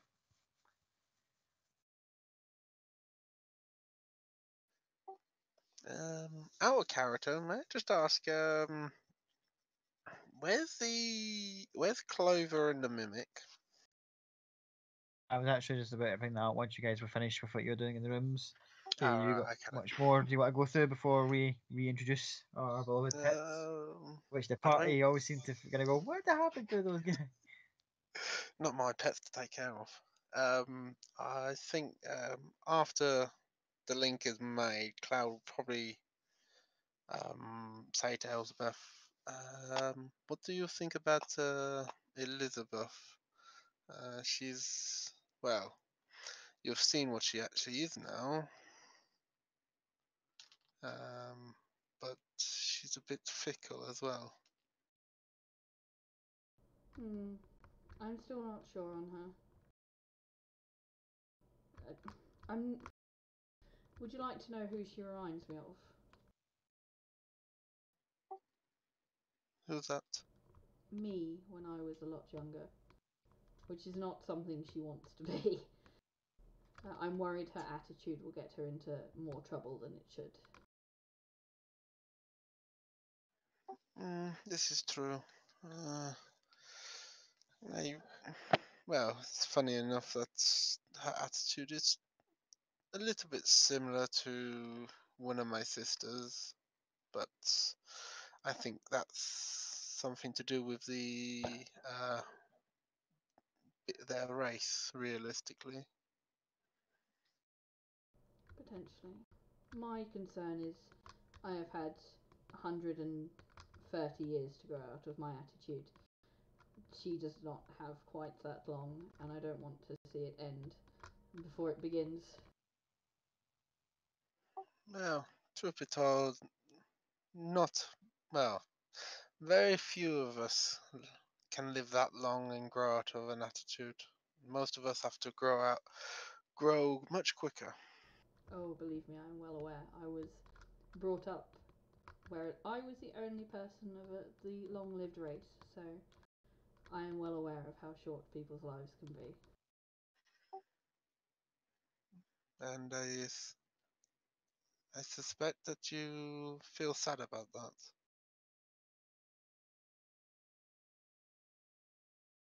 Hmm, it's. I did for the longest while, but it's hard to continue being sad when you lost one. I, when you o- have only had one person that's known you from childhood for the last 60 or so years. So they grew old. I was lucky enough to be left in apparently the one orphanage in the land that had an elf as its uh, caretaker. So yes, he he's growing old, but he still has plenty of years in him yet. Mm, But the friend you grew up with, did they all grow old as well?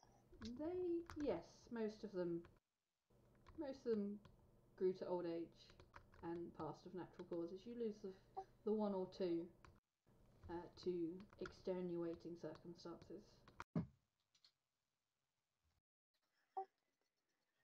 Well, truth be told, if they've grown, it is something that we all have to deal with. But if they live their lives, you definitely should respect that. And you should never feel sad about living longer than them, especially if they've lived their lives fully.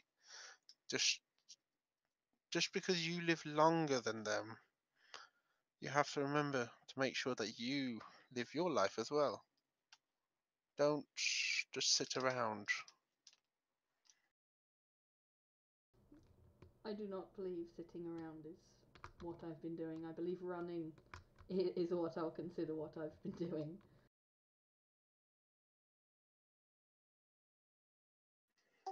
Well, just remember that if they happily lived their lives to the fullest and lived well, make sure you spend your time living well as in their memory. That's the key thing I always remember. Make sure their memory is well. Agreed. And I will try. So, how many sisters do you have?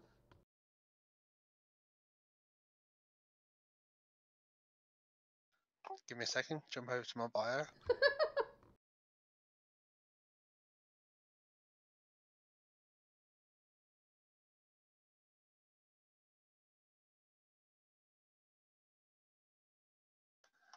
Uh, from the family that came to Tal'Dorei, I have five. Uh, there was a few others that we left back home, but they all chose to stay.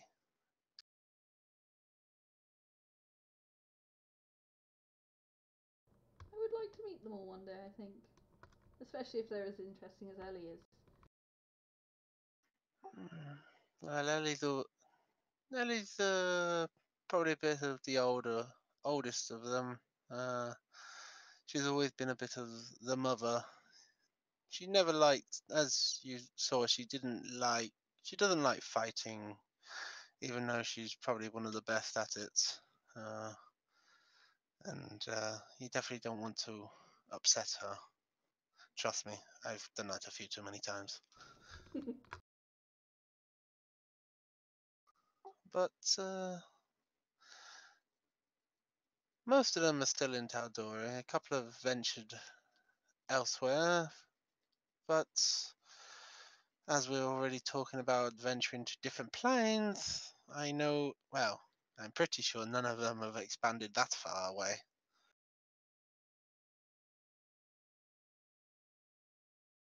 That will be able to be something you can boast to them about that you've accomplished. Hmm, very true. Uh, but uh, I think you missed Huggle the other night while you were collecting items. One of my few, one of my brothers. Ah, so you have a big family then. at uh, if I remember correctly, at one point there was probably about thirty of us. I always like to think that's the one good thing about coming from places that we were brought up in. Lots of family. Well, mm, the differences are is you, I well, you never said it, but I assume you you grew up in an orphanage, correct? Mm hmm we all came from the streets, my dear. We learn to fight and do what I do best because of that.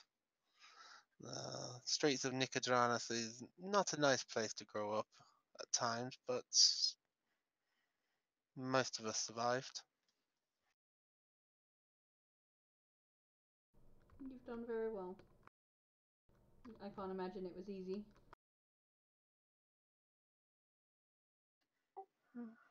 Well, I made it through because I had family. We all took care of each other. Mm, That's definitely what family is good for.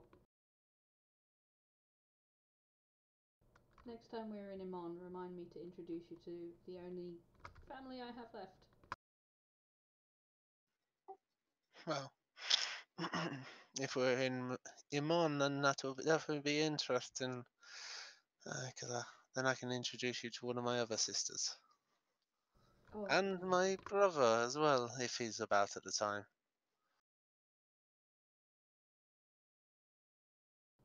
do you think we have left Toto and Maka enough time to do whatever they were doing?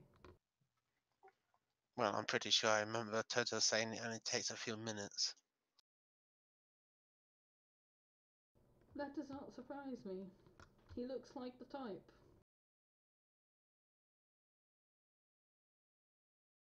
I'm uh. sorry, I, I feel can't keep straight personally attacked.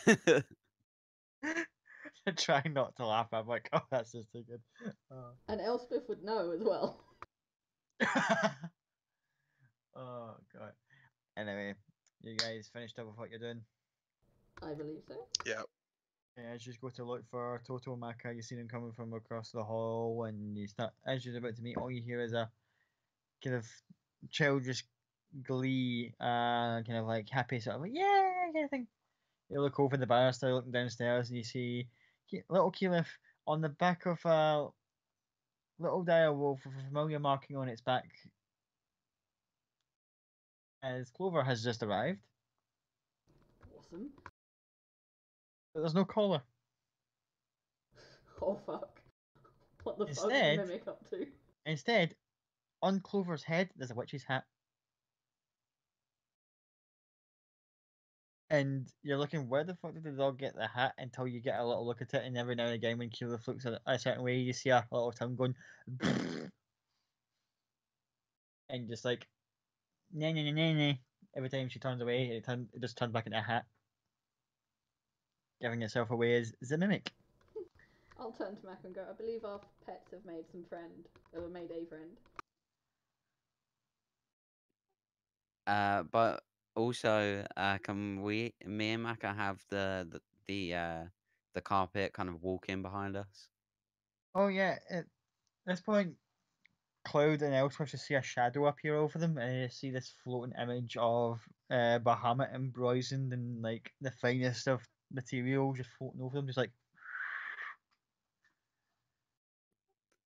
Guys, this, meet the newest member of our party. And I point at the rug. Do I want to ask where you got it from? You really don't. And as you say, you really don't. It does that sort of like I'm gonna fly really close and just gonna spin you around thing. Just like To me or to spins Toto? Clockwise. And it just turns to normal flight above him as Toto's kind of spun around two or three times. It's like whoa, fuck. All right, we it, we we we procured it from a shop. We stole it. Okay, we stole it. But we're working. We're trying to show our new rug friend here that we're not bad people. Actually, I'm tried to pay for all this stuff, but Yeah, yeah, we paid for it. you tried to pay.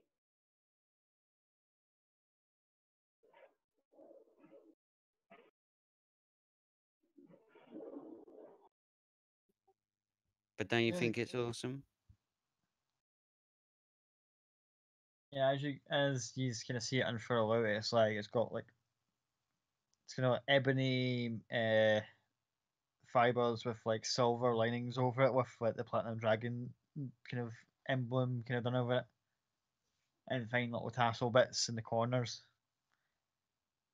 Which every now and again you swear form almost like humanoid, like hands and feet. Every now and again, just but you think, nah, it can't be doing what I think it does. It's weird enough it's floating around, but having like appendages is weird. He's gonna float in there next to Toto and Maka. Is this thing not the best thing you've ever seen? Maybe best not to bring it to the party if it's something you've stolen?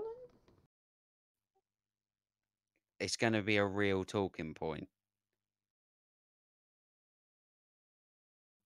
Just me, you need to make a big impact at these kind of events. I mean, I'm not saying I'm peacocking with these shoes, but this bad boy is really going to get me the attention I deserve. Well, I am certainly starting to feel underdressed, surrounded by you guys.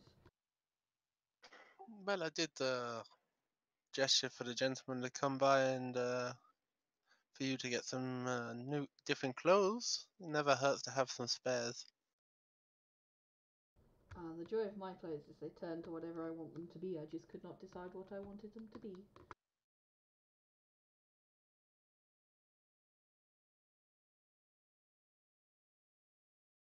Um, Elspeth, uh, maybe I can help, accessorizing is always good. And I do not need your you. wand of creamy healing as an accessory. it is, it's, it's no, no, not my wand, uh, nor my cream. Um, I got you. I got you this, and I hold out the the periapt of wound closure, but I've made the um the necklace part of it like smaller so it can fit around your wrist. Uh, and I just say, I know that you wear Visca's gross eye around your neck, so I I cut the chain shorter, but it should stop you from dying in combat in the future, and it should also help you um, heal faster when we're not taking long rests. Um, and it's just a present for you. Thank you very much. Although, considering I'm not the one that died in combat, maybe this would be better for Catman. Well, funny you should say that. And I kind of just throw the uh, necklace one up in the air towards Cloud. And I'm like, there's one for you too. This doesn't mean you can die again because I'm still needed. I'm still thinking of a new name for the group. That's fine, but that will stop you dying again because I don't want that to happen. And me and Maka got these. We got these for you guys, and they were very, very hard to get hold of. And I just want to make sure that you guys stay safe. Um, because it was scary to see you die. and I don't want to see that again. So, you two keep these, and I'll keep Maka safe, and then the four of us are all good. Also, Elizabeth also helped us get these items, and I'm really worried about where she is right now. I was just quite happy with the peace and quiet, but so be it. I mean, I can see if she's at least within message range of us. She did really help in getting this stuff, and this stuff is going to keep you two alive. And I don't know, it, it feels kind of unfair the four of us being here, having a good time, and her being out there on her own. It's dangerous. So I will send a message to Elizabeth and see if she's in range and just go, We would like you to join us. There seems to be a party going on, and you helped as much as any of us, so we feel like you should be here.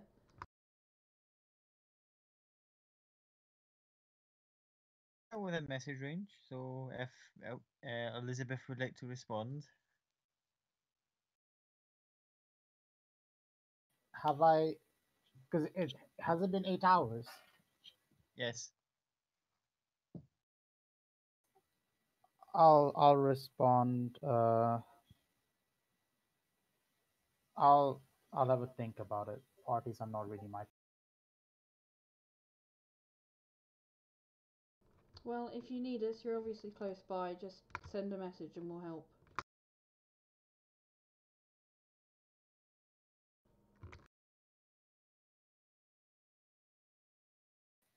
Thank you.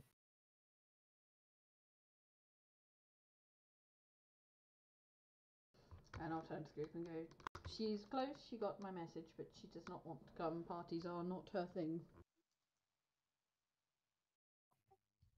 Okay, as long as she's safe, that's fine. I feel kind of bad. Like, she said some shitty stuff, but I feel like we were kind of dicks today, as per. I mean, not that she's not a dick, but still. Oh, I think we've lost Amy, by the way. Yeah, she was having issues, I think, technical stuff. Back in a sec. I hope. We were a bit hard on her. However, at some point you need to learn to bend.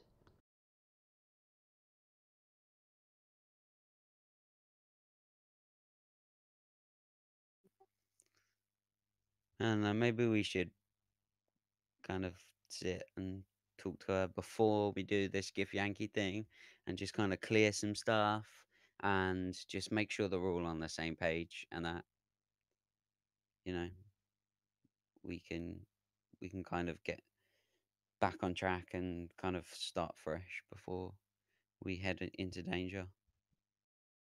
I feel like that's a good idea.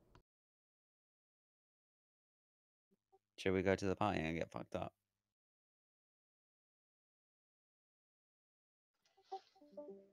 Mm, Let's be careful what we drink this time.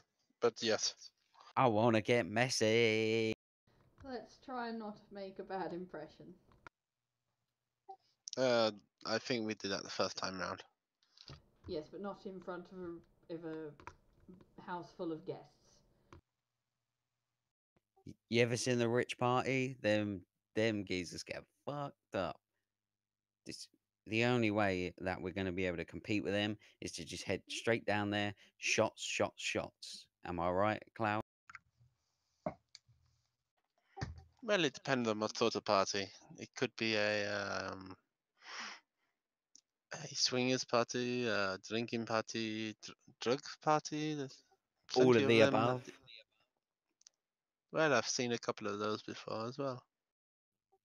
Toto just starts rubbing his hands together.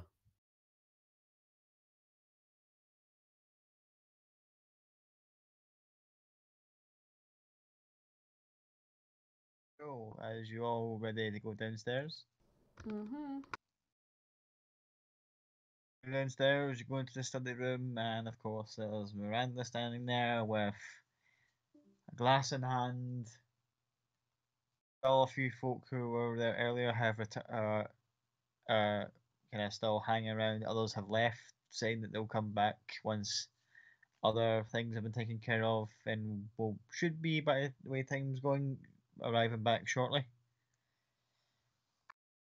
And Miranda is standing there with almost like an almost devilish grin on her face just when she comes out. Ah, my good friends, how are you all doing this evening?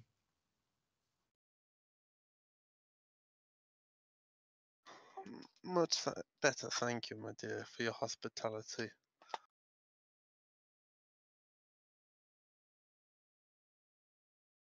Yes, it was very much Taken to given your actions of late.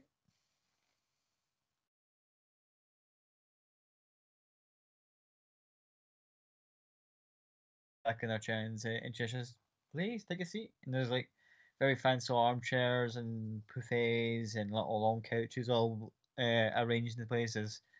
Uh, a particular table that's got drink and food on it. Says, please celebrate. Take the load off. It's been uh, eventful few days for us all.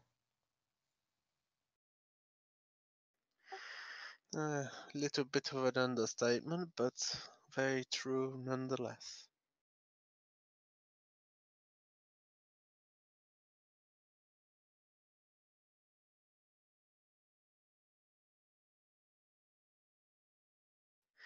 Hmm, Cloud will take a drink.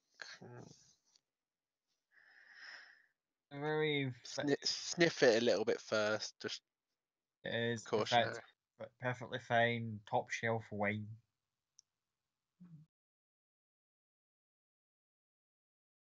Very floral bouquet, it's like hmm, very good red as it would be. Cloud sort of passes it to Toto and just starts passing out the drinks to everybody. Elspeth will decline. Uh, thought so. At which point, uh, before you can say, uh, Amanda goes ah ah ah, and she points to the bottle next to the one you got from, and it's got like a little bit of addendum to the the label saying it's like zero percent.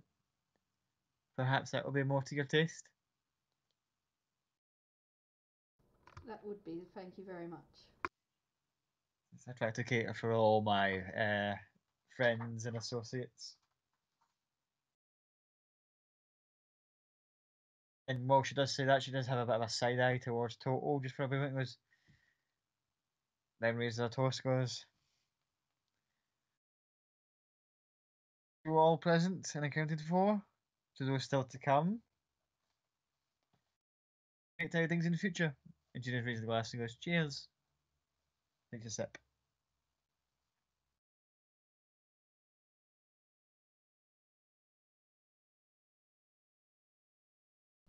Can you hear now,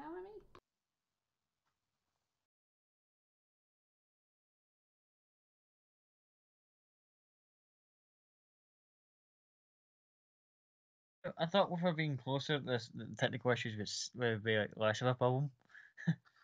Uh, depends Very on uh, where she's got a connection, doesn't it? Though.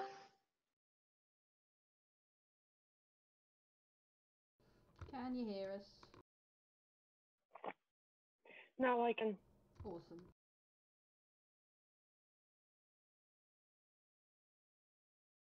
Yeah, So you Cloud said all this- will pour Elizabeth uh, a drink from the non-alcoholic wine, and um, as he does, he'll say to Miranda, um,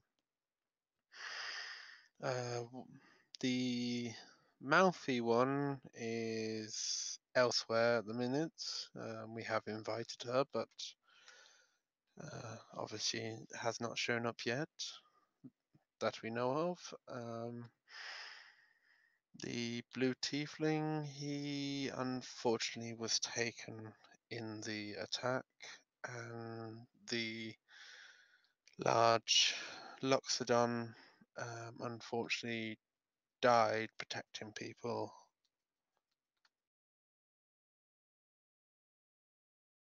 Taking back a little bit, says I really to apologise as much as the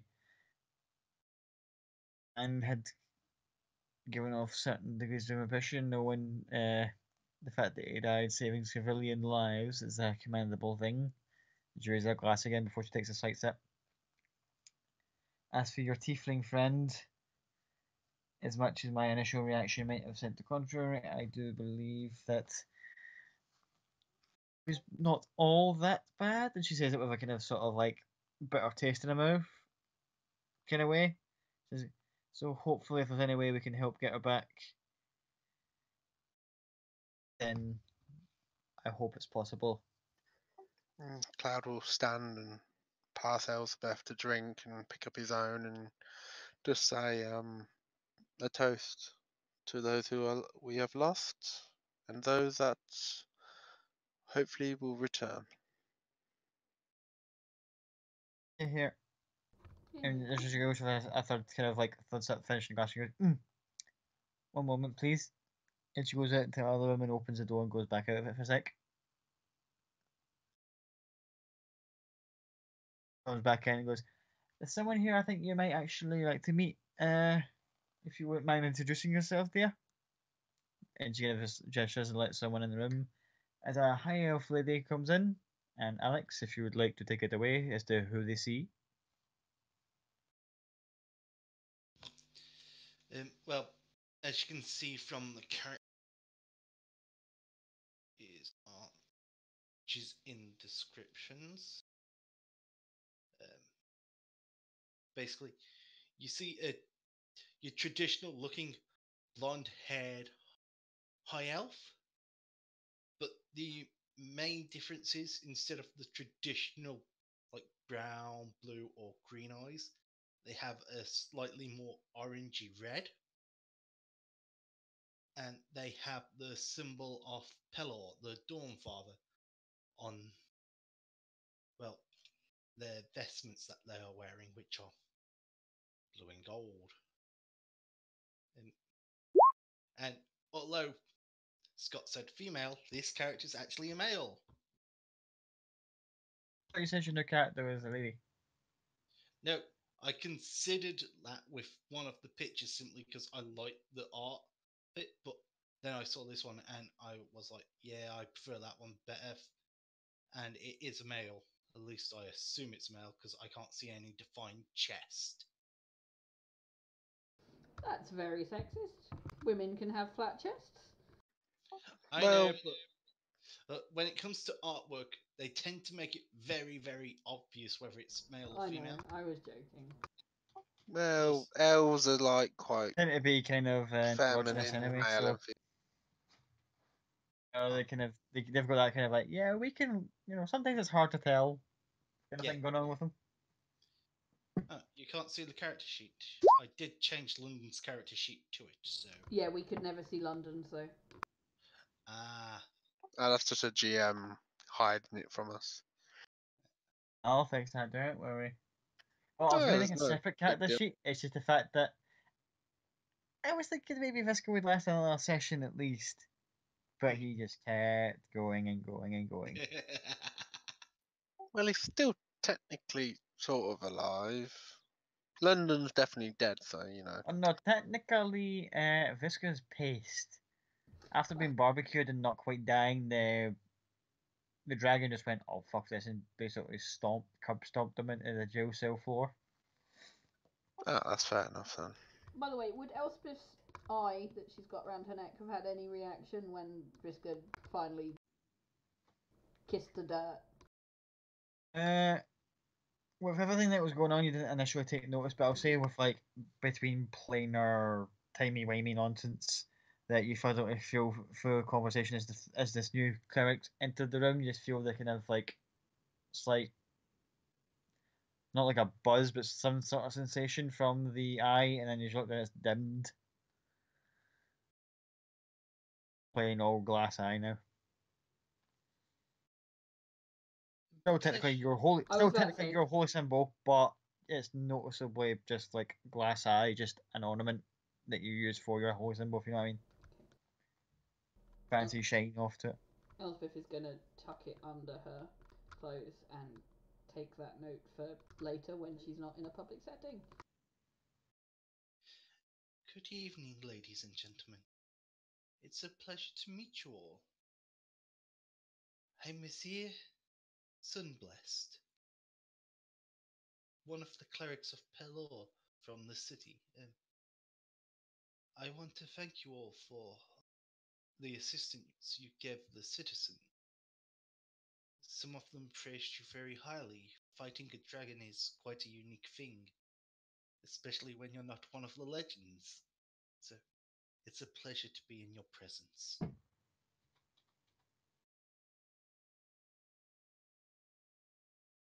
And can just go back to her seat and starts filling up an hourglass. And she's like, Since I've been modest here, you've done a lot to assist citizens as well. There's quite a few people who would be dead if it wasn't for your efforts. I just patched up the ones I could. Pelor's light, we survived this. Hopefully they don't come back.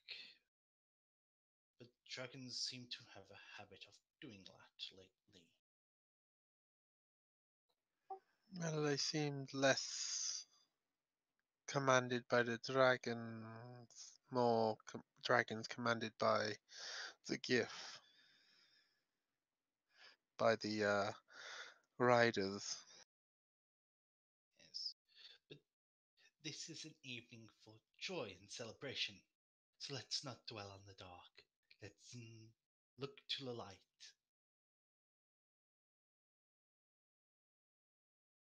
Um, I'm assuming from the description I was told, Lord, you must be Cloud, correct? That's what people call me. Oh, is it not your name? It's the name I chose and I was given. The air, correct? Um, there. I know it's hard to pronounce for quite a few people. Even elves have trouble sometimes. My family was weird like that. Well, that's fair enough. So you're a healer. Yes, I'm blessed with the talents of healing light from the Dawn Father. I'm one of the few clerics who specialize in healing under his banner. Ah, I've known a few clerics who don't quite heal too much, but it's nice to see one that does. Yes. Well, most of the clerics you'll find around Tal'Dorei tend to be more defensive based. One of the main legends is one of the main legends is a follower of Sarenrae, I believe, and she's a cleric of great strength and just Yes, Miss Trickfoot. We we met. Hmm, She healed us. now. Did she take his name or? I can't actually remember I if don't took. know either. I don't think it was mentioned. Maybe I we think should tweet them and ask. I'm pretty sure it's um Scanlan Trickfoot now. I, I would say more than likely, Yeah. knowing how Pike would be. Yeah, true.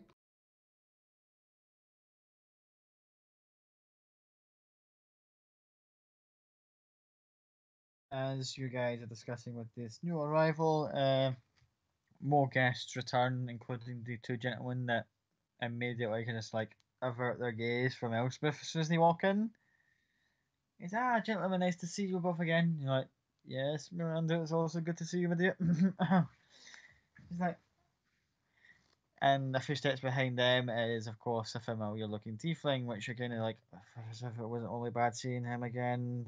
Both of them, uh, again, Salvador, lovely to see you. And she goes like, there's that sort of like mock kiss thing on either side of the cheek. He's like, Miranda, my dear, you're lovely as ever. Good evening, all. Then he just raises an eyebrows. He sees Elspeth in the corner. Good evening, Salvador. Um, it's been a while. I'm guessing you're not here for my talents again, are you? Yes, those last couple of broken bones I received were very much healed by your gracing hands. Thank you. And his tail just kind of wags a little bit. Says, "If only you'd put those uh, lovely hands to other uses." I've told you. Only when I know for sure that I can definitely cure whatever you tried to give me. Which point the two gentlemen in the other end of the room again are trying to just like keep their mouth shut. Just like, "Mhm, okay, this has got very awkward for us very quickly. Mm. Now, now, everyone, whatever you do in your private bed chambers is none of our business. As Miranda looks around and goes, ah, it's quite a lo- lovely ensemble we've got here in spite of all that's happened in the last few uh, few days. I feel Um, things are taking a very delightful turn. Are these are, are there still people coming into the the place, or is it like is everyone just inside and then just not coming out of the, the hallway? And into There's more people approaching, i would say. that If you want to make a perception check to see who else is coming, you're more than welcome. um, I I mean, I'm not particularly looking for anyone. I just want to kind of see Yeah, just see, the just kind uh, of see if you they're wearing. if you just look, see who's coming in. Twelve. Twelve. You just see a bunch of people just starting to kind of uh, crowds of people getting dropped off in like uh, carriages. Some are just kind of hanging out outside. Some are actually going towards the house. You can't tell who's who. Um, the ones going towards the house, are they wearing anything particular? Uh, There is what looks like a Cobalt Reserve, uh, you, kind of common uniform outfit. I don't know what the actual people in the reserve would wear in terms of like, like shawl, smocks, whatever the fuck they would wear. But there's definitely somebody from the Cobalt Reserve approaching. Uh, I'll wear something similar, but without the actual, without actually looking like I'm wearing vestiges uh, of the Cobalt Reserve, and uh, I'll follow behind. And if if the guard asks me, I'll say I'm here with Elspeth. Uh, I'm looking like Elizabeth. As you start making your way, the guards initially question you, then you explain. They go, "Okay, we expect we were expecting you hours ago, but okay," and they let you by. As the rest of the party are sitting there, as you go, "Ah, Doctor Hydro, how nice to see you!" As a familiar uh, professor walks in. Good evening, everyone. Good evening. Good evening. Good evening.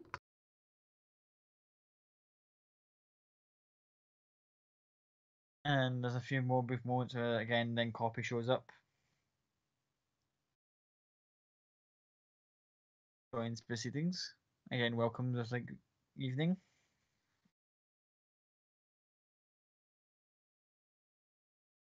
And about an hour or so passes of just like small chit chat between all the uh, other various guests, and more people arrive. There's like certain merchants are, uh, arrive, including a particular fire genasi who uh, comes in with like this over the top sort of like floral, one of the floral necklace things called again Hawaiians hand out. You know what the ones I'm talking about? One of those things, but it's like over the top, like it's like several bouquets worth over him, which is kind of weird because he's like on fire all the time. Yet not setting his ablaze. He's like, ah, hello, everyone." It's like, oh, oh hello, Jafar. Yeah, it's like goes evening all, evening all. There's like curtsy bows and all this kind of nonsense. Joins the crowd of people as they all start talking. It's like a who's who of Western society here.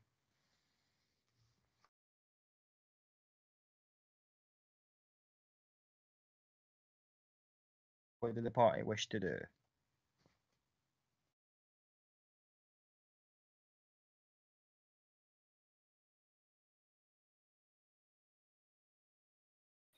Um, I'm just kind of mingling, generally kind of staying away from the party, just kind of mingling with people with a drink in my hand, trying to be as sophisticated as possible. Cool. Anyone else? Uh, Cloud's probably doing the same thing, but um, keep um, probably doing his uh, old routine of listening in on everybody's conversation, picking up tidbits of interesting or anything of use he might hear. Okay. Perception check, please.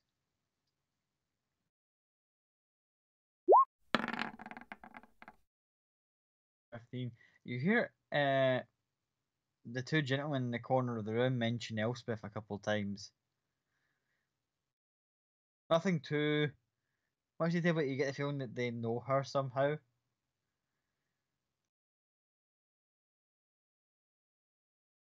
Out of character, have I mentioned that I hate you?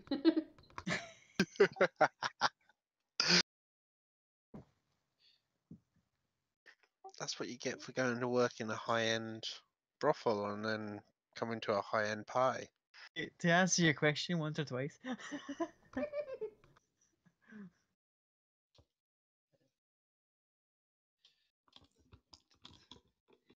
Ezzy will um, go up to Elspeth. oh, Elspeth is trying to keep her distance from the freaky elf. She has not had uh, good encounters with other elves, so she is deliberately trying to keep her distance. Excuse me, miss?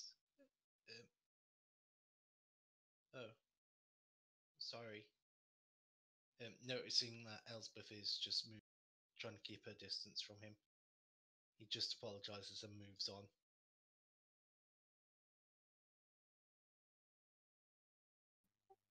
Uh, Toto wants to kind of do the rounds, looking for any kind of hot, older, rich ladies that he can chat up and possibly take. I was expecting you to go start walking around going, got space? Got any space? Got space? Oh my god. Just, just playing it smooth, just trying to stay suave. He's got the smoking jacket on. He's just looking for any hot, older ladies that might have a bit of money as well. Right, So they those crocs give you like a minus five to charisma, but uh, And the smoking jacket. He's looking for like the female equivalent of a sugar daddy, so like a honey mummy. Is that actually what they're called? I'm gonna have to Google this now. I don't know know. Yeah, I I assume- that.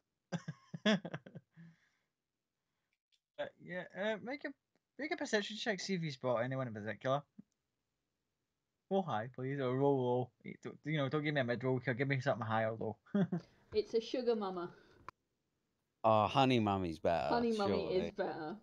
Yes. Let's see what alternatives Urban Dictionary has. Oh god damn it. Eh, you get someone who's the equivalent of like maybe uh half elf Joe Rivers, Joan Rivers.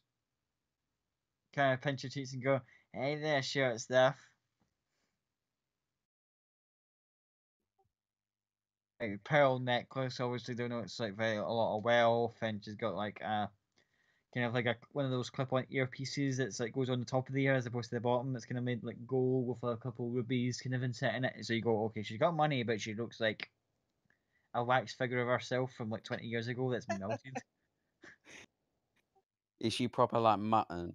Like Not just ugly, but aged, not in a good way.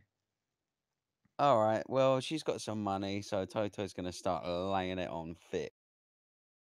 Okay, roll me some uh, persuasion checks, please. I have a zero for persuasion, so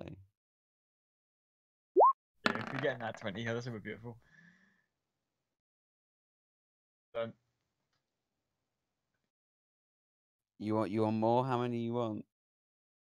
Hang on. Her response.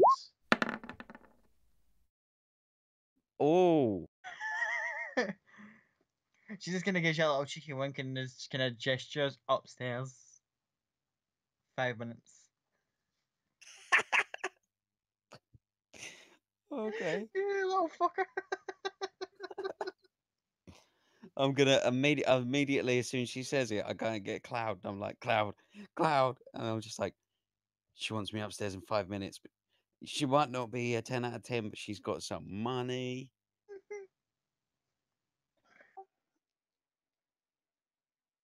I am not surprised. Just mm, keep her happy. And he just pats Toto on the back. Sends him off with his way. Couple of minutes go by, she leaves the room, and then obviously Toto's like, I'm going in, slicks back and heads out. Um, seeing the woman, is she like really old or Well, she's a half elf, so she, get, she she has a bit of an extended lifespan. So I would say, if if I was to to human years, she looks like about 62. Yeah? Cloud will um Maybe not aged well, if you know what I mean. Like, kind of like, rather some people kind of like, oh, I'm surprised by your age. You're like, really? Yeah, yeah, that's pretty bang on for what I was thinking. This is what you're gonna get the impression of. Yeah, Cloud will uh, pop upstairs first, um, go into his bag and grab something, and then he will make sure he locks. Uh, if he can, if he, uh, I don't know, he'll probably close the door and probably put um like a tie or something on the door, like just to say it's occupied or something um, and go back downstairs and slip into Toto's pocket um, the bottle of lube and say, you might, you might need this, my friend. I forgot we had that. so did I. I've been waiting to use that for so long. It was just like, where can I use this? And then I just was like, yes, yes, here we go, perfect. Do me a favour, as you've you've done the door thing all right. You've got the i- you got the item in question. As you're passing Toto on the stairs, make a sleight of hand check. Now you're a rogue, so this should be pe- this easy. But Shut up, fail shut up! Don't don't jinx me. Yeah, champion. Yeah. Just like subtle hand movement, and then as you do it, you slide it out your sleeve into his back pocket.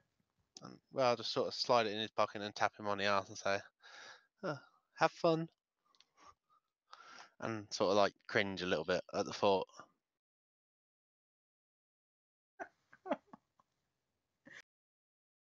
See, this is the party that I know. This we're back. We're back to how we were.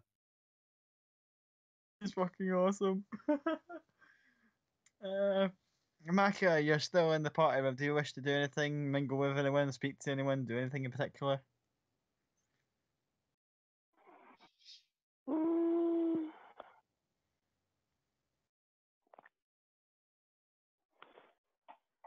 No, I don't want to do. Thank you, Calvin. Just sitting there being like badass bitch in the, I in the corner of the room. I will drink something and I will try to enjoy the the party maybe. I don't know. Cool. Uh, who is that? Everything, everyone can have done at least one thing in the party.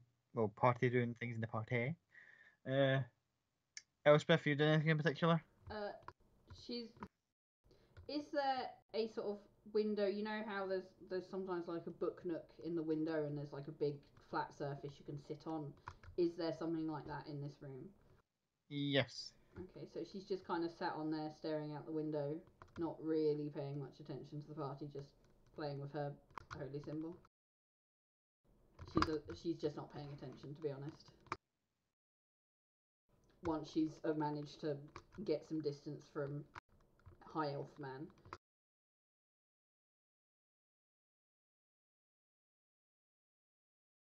At which point, a familiar face starts approaching goes, Having fun, my dear. It's Salvador just leans against the wall next to you, crossing his arms.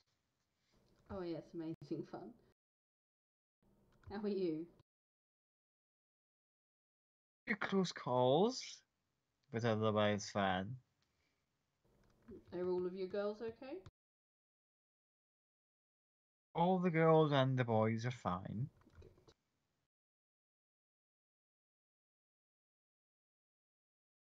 So what brings you here? Well, I am a particular. Uh, I am one to keep my eyes and ears open to various opportunities that come up as they do, and I often hear things in my line of work. Both things that are very useful to a woman of or like her, and he kind of just, with hand still holding his glass, kind of like one finger gestures towards Miranda.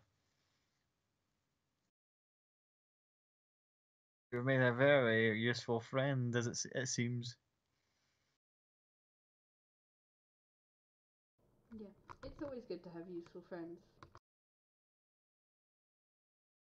Speaking of useful friends, and he kind of then uh, avoids his like pointing from Miranda to the two, still very awkward, but they can't. There's a thing keeping them here. They can't leave, so they're trying to just like, yeah, we're still part of all this, but we're kind of like non-active combatants, really. Like, you remember those two, right? Oh yes. Their family has very deep pockets, which I imagine you remember. Yes, I do. What do you say about making a pretty pe- uh, a pretty copper piece, a cute copper piece or- or two off them?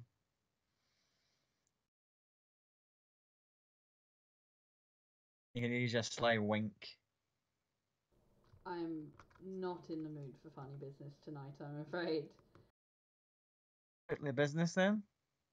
Just I'll make a couple uh silly silvers while we're at it. And he he's like he's giving the hint as like he's not trying to say go up and two for one again. it's it's more a case of it's like there I know what happened because obviously I run the establishment, but it's also kind of going they they obviously don't want other people to know. So how about twist that little spigot a little bit? I, Entirely up to you. I could I could do it myself, but I think I'd why not include you in the fun since you seem away elsewhere. I will let you enjoy the fun tonight. I am not one for burning bridges. Very well. I can give us a, lot, a respectful nod. I'll leave you to your uh, inner thoughts, as it would be. Thank you. Hopefully, we'll speak soon. Of course. You seem kind of slyly maneuver his way through the crowd of people towards those two gentlemen.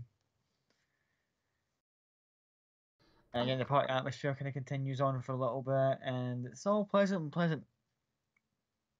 And every now and again, you all individually get gla- notice glances off uh, Doctor uh, Hedro, who is, you know, putting on a, a, a happy face until every now and again you can just kind of get this glance off her, which is just like not pure hate, but just contempt.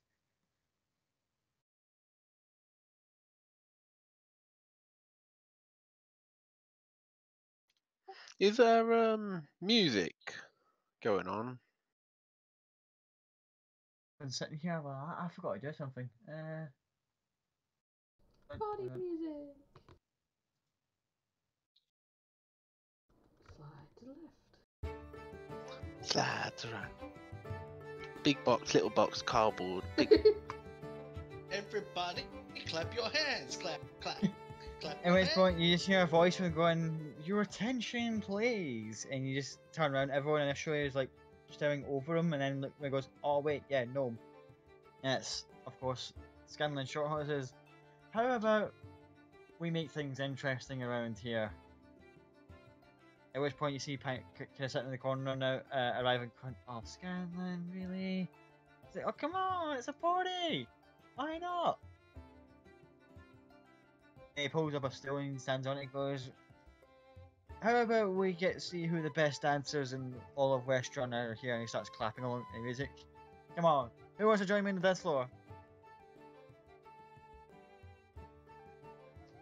Cloud um, goes over to Maka and puts his hand out and says, uh, May I have this dance?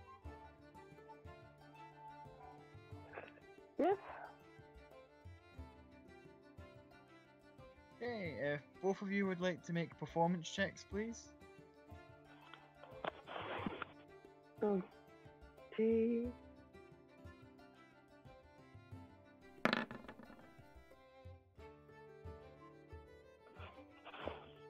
Oh, okay, scoring in the mid twenties anyway, and a natural twenty. So you guys, you just that whole hand out. As soon as she takes her hand, you just like full on, just like. Uh, I really should have looked up dancing stuff. Uh, mind went blank. So that sort of typical sort of like medieval sort of like everyone's clapping. We do the. Macarena. Oh fuck it, yeah, you know what? For natural twenty, you get Macarena.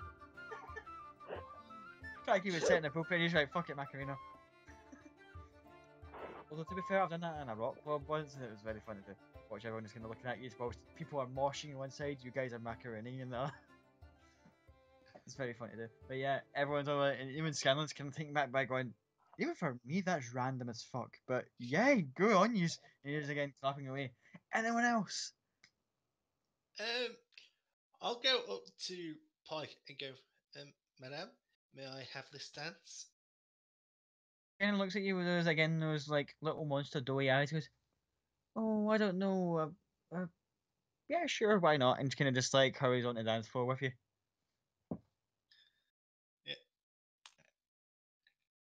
So, performance, correct? Yes. I think Pike should just do it because she's got the gauntlets of ogre strength, so your character can just stand on her feet and she can just throw you around. Kind of what I was thinking. And pig natural twenties.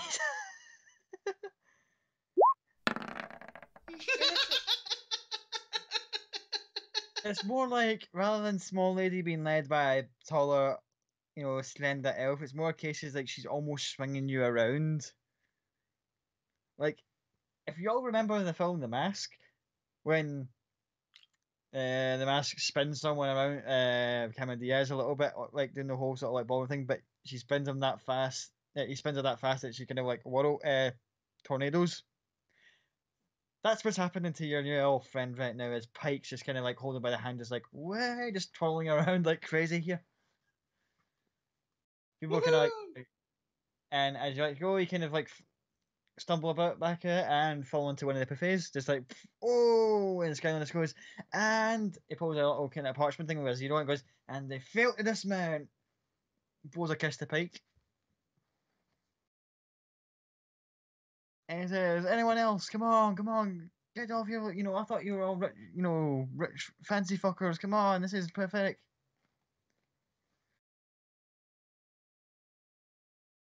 Some of the more rich folk are kind of sitting, and then Salvador looks at Miranda and goes, "May I?" And the two of them start thinking of like, mm, maybe, yes, no, yeah, fuck it. And she puts the glass down. The two of them start thinking of this uh, like ballroom blitz kind of thing going on, and everyone's like, "Ooh, fancy!" And good half an hour, forty-five minutes solid of just everyone is getting up and taking turns dancing a night away, enjoying good food, good wine. Gets to the sort of late hours of the early hours of the next morning. People start to kind of like get tired and say we need to leave. And Pike and Scanlan then go says, "Okay, we must depart, but it was nice meeting you all again. It was nice." And they kind of take particular notice with the party members that they recognise presence in, it was good bumping into you guys again, and maybe on our like if we meet again a third time, we'll actually get a chance to properly talk and such, and they leave. It is the last few people that are left are Miranda herself, Salvador, uh, after speaking to the two young gentlemen, have been kind of all secret secret talk for a while. He then eventually takes his leave, bows to everyone, gives Elspeth a quick wink, and then leaves. Arriving quite late to the party and only staying for literally a case of I'm only popping my head in was Toto's brother, but once he's seen everyone having a good time and his brother in amongst it all, he's like, oh, I'll come back another time and kind of awkwardly kind of like, ah, bails out. It is now mostly just Miranda and Dr. Uh, Hedro who are left. And of course, party members who are still standing. Do me all a favour, folks. Constitution checks Including for those who are drinking. I was about to say. Um, I was sipping. I wasn't drinking too much. Cloud's a little bit beyond the, the limit. Copy's fine.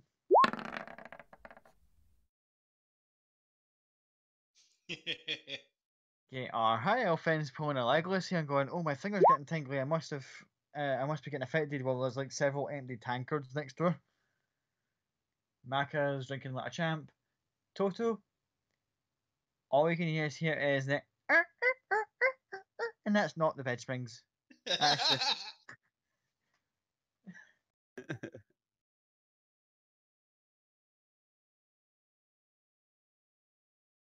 After a while, she leaves with a bit of a, a grin on her face, with no pearl necklace, as people notice as she leaves. And you just see Toto come down at some point later in the evening, a little bit dishevelled. One of uh, one of the goldfish is floating upside down inside the Crocs, and he's got a pearl necklace worth about five hundred gold pieces. It's all small, little kind of tiny pearls, like the tiniest thing to consider a pearl, like a big bunch of them on your necklace. It's five hundred gold worth. Nice. And yeah, everyone's all doing well. And Miranda's starting to show signs of tiredness as she's talking to a very kind of mostly serious Dr. Hedro. She says, Come on, my dear, it's been a rough few days and we're all having a good time. Do you need to really kill the mood? And you see uh, the, doc- uh, the doctor starting to kind of like losing patience a little bit. Says, It really isn't an urgent matter regarding the ship. Maybe we could talk more and negotiate regarding its release. At which point Amanda goes, another time, and you can see Dr. Hedro starting to kind of lose her temper a little bit, and there's a particular twitch developing in her eye that Miranda's kind of not noticing because she's kind of sitting there going, I can feel the beginning of a hangover starting, maybe people should leave. You guys are still welcome in your rooms. She's made that pretty clear, but she's kind of like, can we discuss this another time, uh, Doctor? And she's, tensions are starting to slowly build in the room.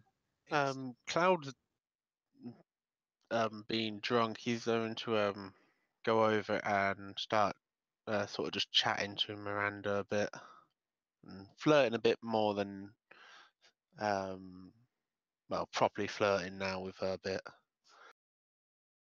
Make a persuasion check with disadvantage.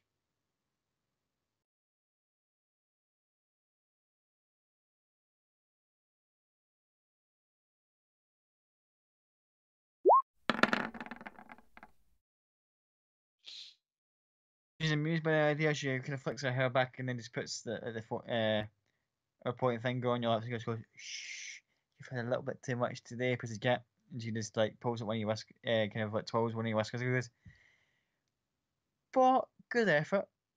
And she's gonna you a little kind of like tap in the ass as she walks by you. And right now, the doctor is sitting in the room,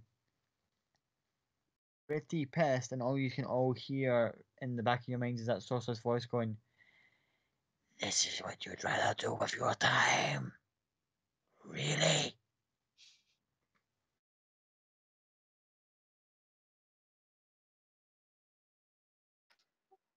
At which point, obviously Miranda's not heard this. She's like, "You're all still welcome to stay in a couple nights if you wish. After all your efforts." Uh, she just stumps in the doorway, kind of going, "But you'll have to forgive me if your hostess has to." Uh... And she kind of almost falls and goes, has to go rest herself. Uh, good night, everyone. Good And night, she my leaves the room.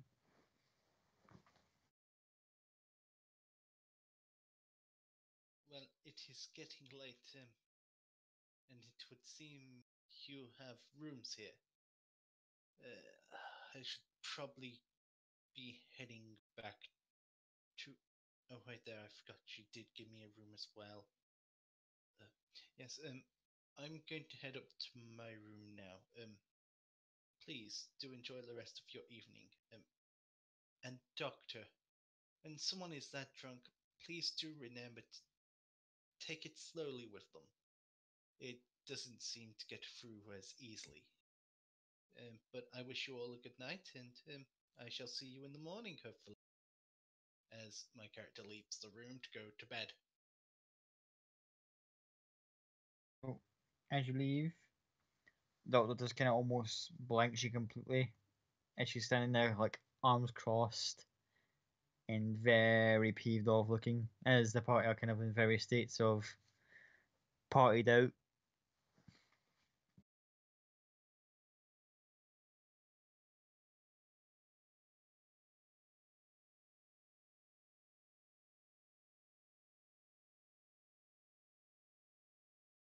Elspeth is just going to ignore the fucker and attempt to help Cloud, who's probably looking very drunk right now, to bed. His own bed. You kind of take him uh, by the side and just uh, help him up the stairs. You had your side of the deal to sort. We'll deal with ours when yours is done. And he'll let Elizabeth take him stumbling up the stairs a bit. Uh, Toto's gonna kind of not quite as drunk as Cloud, I don't think. Or maybe more so.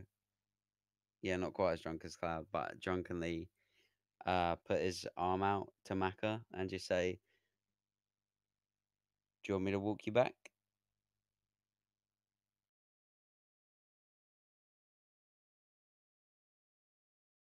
No, I think I will be perfectly safe at my room.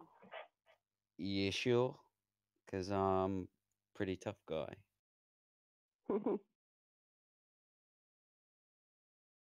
Thank you, but I will go alone. I'll see you in the morning. And then I'm just gonna lie and then I'm just gonna lie on the floor and go to I take one look? I'm gonna take one look at the stairs and just think, nah, nah. And just go to sleep on the floor. Or sleep at the bottom of the stairs. Uh, Elspeth and Cloud, as you get to the top, uh, to the second floor landing, you just see Clover kind of just curled up with this time a potted plant. Just on the floor or somewhere on Clover? It's like as Clover's kind of sitting there, kind of like, kind of like curled up, kind of way that kind of dogs would do. There's the potted plant's kind of just sitting next to them um, in the middle. It's almost as if Clover's wrapped their tail around it. I will try and quietly creep past them so as not to disturb the sleeping animals.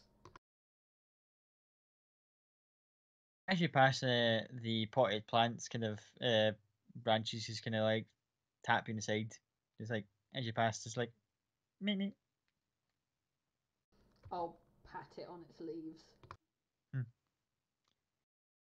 And you see on the side of the the plant side, uh, the plant pot side, you just see that they kind of curled, uh, kind of wobbly. It went from like a purple uh, potted circle to like wobbly looking with like teeth popping through. And it's just like then it turns into a weird grin, Oh, and then turns back into a potted plant. I am gonna tuck Cloud into bed and cast create water and create him a big glass of water for when he wakes up. Uh, before that, Cloud. Um, mm, I want to just roll an intelligence check for.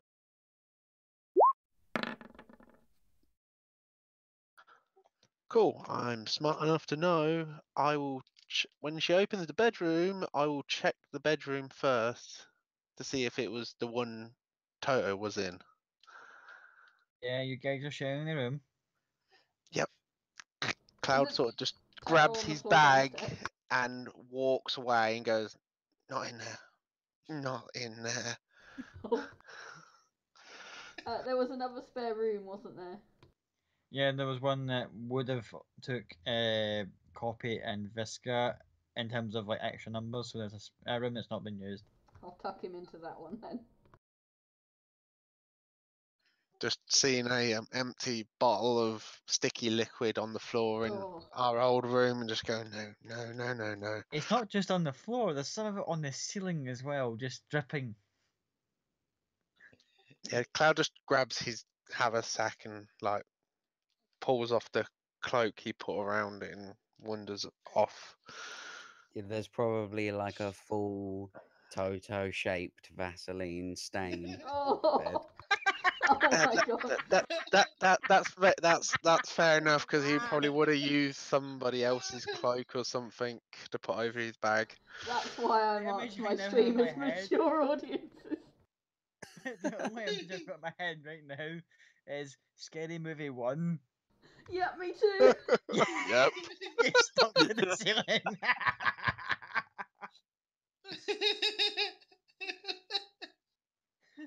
The naughty Deltas are back, everybody. Uh, oh, it could have been worse. It could have been Scary Movie 2 from Under the Bed. oh, and that that's, that wouldn't have happened. We've still got another 45 minutes. Let's see what happens. Oh dear, oh dear. anyway, Uh, so, yeah, so Elspeth is going to tuck Cloud in and create him a big glass of water. Uh, with create water, because that's definitely what that spell's for. Um, That's not funny.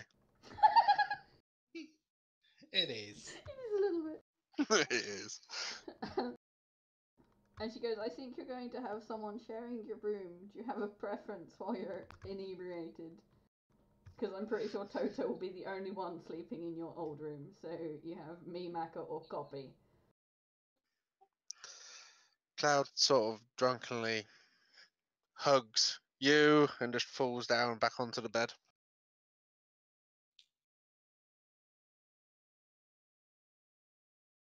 Well, that's that decision made. I will cast message to Maka and go, uh, would you mind sharing a room with Copy tonight? Uh, not Copy, Elizabeth, that's what I meant. Sorry. Characters with names that aren't actually their names.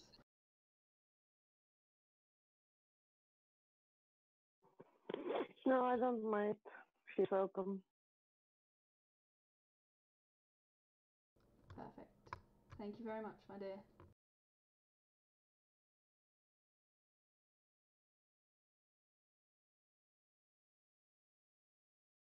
By the way, did you let go when you fell backwards on the bed? Or have you pulled me onto the bed with you? He probably pulled you onto the bed with him, but by the time he hit the bed, He he let go. probably he probably just like passed out.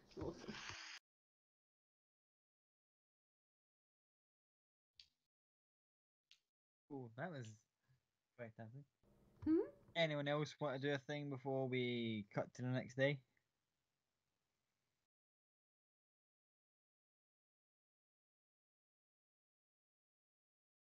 Nah, I'm good.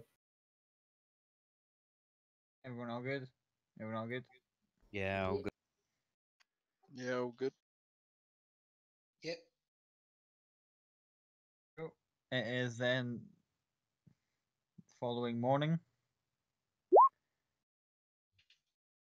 Uh, because I had a decent kind of nap before we even went to bed, um, I'm going to wake up slightly earlier than everyone else and leave the mat. Okay, you leave the manor house. Yeah, I'll leave my Any particular destination in mind? Uh, one of two. Well, both of them actually. Uh, I'm gonna go to like the smithing district. I, I think there's like a district where there's a lot of smiths and everything. And just gonna spend a bit of time observing them, and then uh, just have a wander around the temple district as well. Okay. Early, and you just go for the leisurely wander about each district.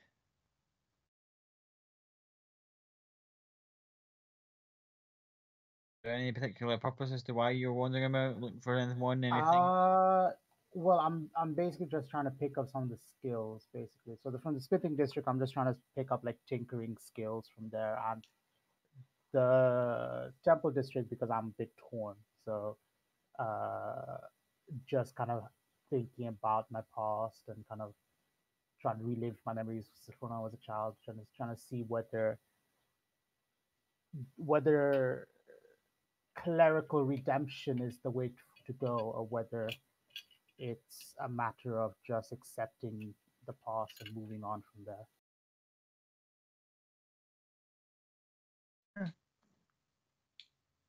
How about do me insight check, as if you're just having a little inner monologue kind of thing, just as you're doing that. Just Unnatural fancy.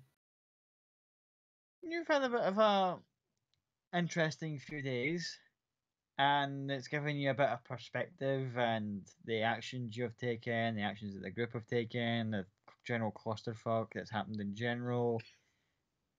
And you feel oddly as if you've like this is a massive hurdle, and I've just like falling over it, but landed on my feet, so that's good. See how things go on from here, and just I'll say, hang on, that when you go to the smithing district, you kind of see someone leaving out a kind of like not a, a manual, a proper book, but kind of like a kind of one of soft backed um, how to do things, old style kind of help me books things, and you can just there's extra copies lying about, and you went ah you won't miss one, and it will give you a plus one to any tinkering checks, just because.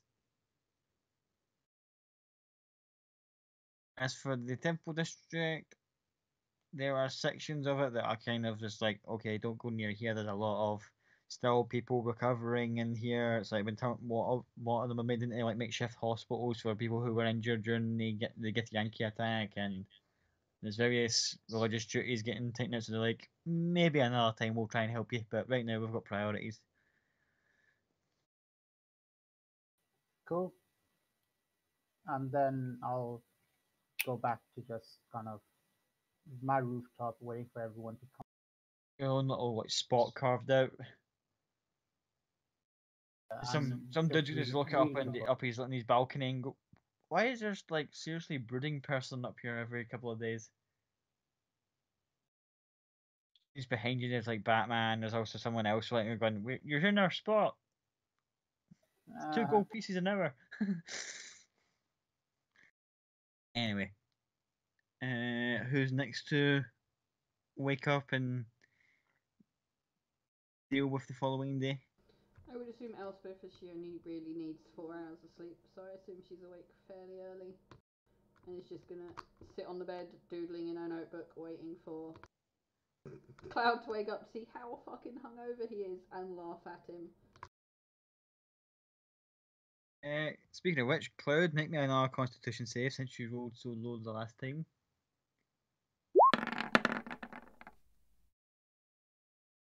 You think someone's just cast cold, toll the dead on you? You just hear every pin drop in that uh, manor house is just like an is echoing through your head right now. Just oh fuck.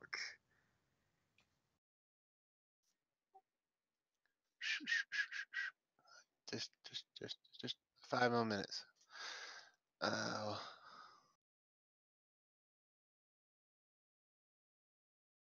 Anything else out, uh, Elspeth? Uh, I'll create him more water. I think at this point, if you actually just do what's in that gif, I think that'll probably help him more. Just like here. Am I that cruel? No, I'm not that cruel. No, she wouldn't do it. She'd just Um, hand him a glass of water and go, believe me, it'll help. Cloud pretty much just like starts sipping on it and Um, turns to Elspeth, probably holding his head with one hand, drinking from the glass with the other, and just go, um, do you have um you you have a way of um messaging someone long distance, do you? Not? Mm, no, not particularly long distance, only 120 feet. I, I do not know the longer distance one. That was uh, that was Visca. No, that's uh, fair enough. Uh, I, if we are to believe what the um, squid face said, we um, Emon and here and Vasselheim are going to be attacked soon. So we um, I want to try and get word to people I know who can get word to people who can hopefully do something about it or at least prepare. Maybe the uh, maybe it's the spell clerics know. Maybe the cleric that was in the at the party last night would know it. Be able to use it. That is true, but mm, if I remember correctly, you, you need to know the person, don't you? Or do you? I can't remember. I can't remember what happened. Oh. As you're talking, there's a loud crash noise from outside, and you can hear the kind of guards kind of like rushing to see "What the hell happened there?"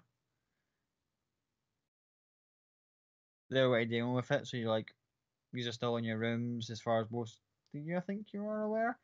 You just hear the, and they're kind of running off in the guards. That's about it. Uh, Toto, before we go any further, yeah, uh, do me a favor. Roll me a con save. A con check, sorry. I'm sorry. You have AIDS. You remember what you did last night and vomit.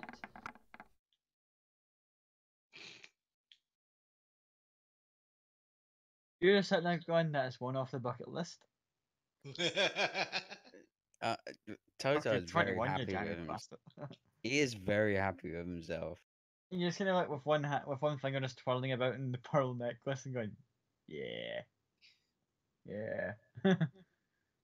Yeah. Aka, is there anything you want to do uh, early doors?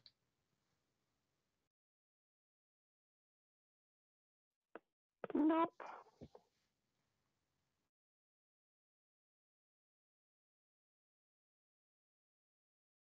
Nothing in particular, just like a couple stretches, like, mm, that was a fun party last night. And again, everyone hears the, the crashing noise. Well, everyone who's still present. Uh, Alex, do me a favor. Uh, roll me a perception check while you're at your own little place of residence. Well, I'll say for when you're up and about in the morning.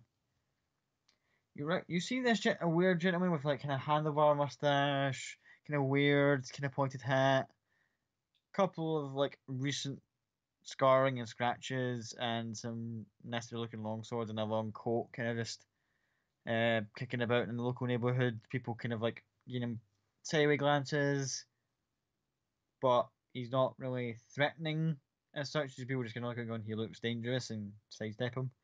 And you just see him as he walks by. There's like two kids kind of bumping him by accident in a nearby alleyway. He's like giving him a bit of a cross look. Gold, gold, piece each. And carries on his way. Recognize just vaguely from like certain iconography on his clothing that he's uh, of course a blood hunter of the insert name of the order here. I can't. I'm not going to look at the book right now because I can't be arsed. uh,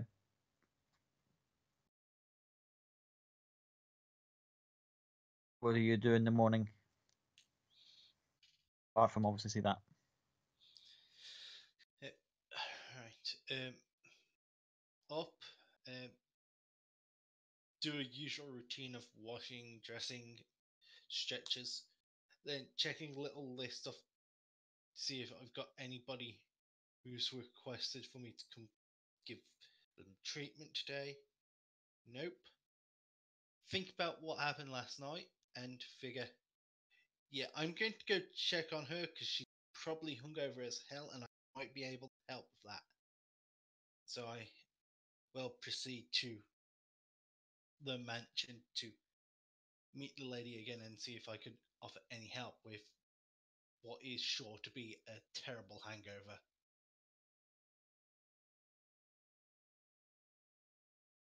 And you start heading your way back as the other part of Matilda crash they can see at the end of the the other end of the bout uh second floor you see the main bed chambers open you see Miranda hanging out with her like house coat on but she's got a rapier by her side just in case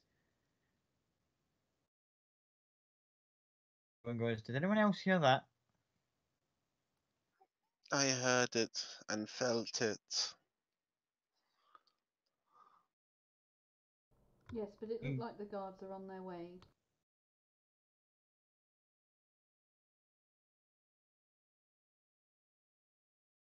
It sounds to be like raised voices, but mostly of like confusion and a little bit of like a little bit of anger, but mostly confusion coming from the main doorway.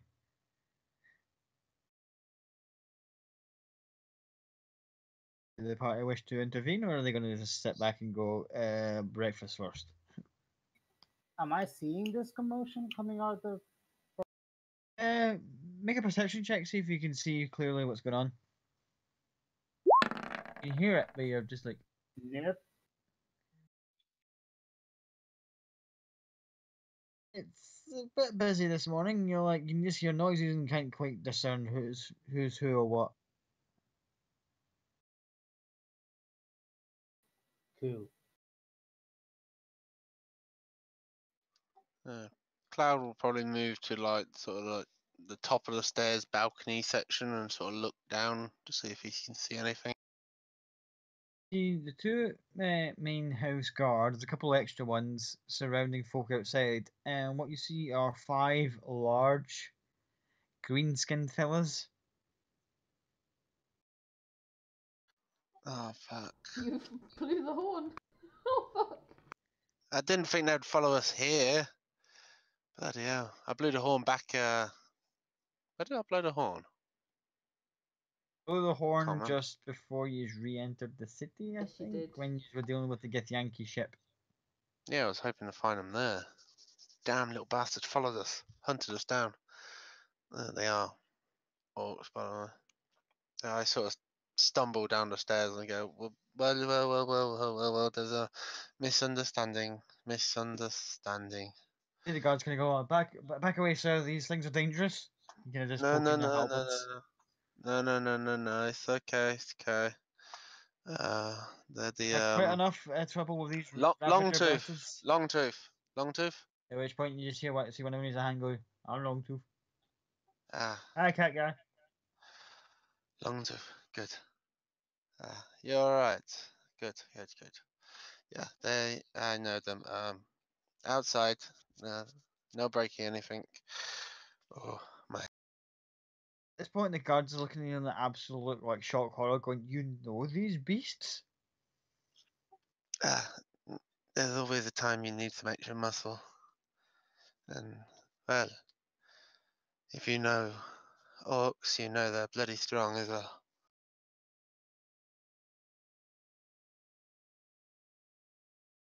Uh, uh, make a persu- uh, persuasion check.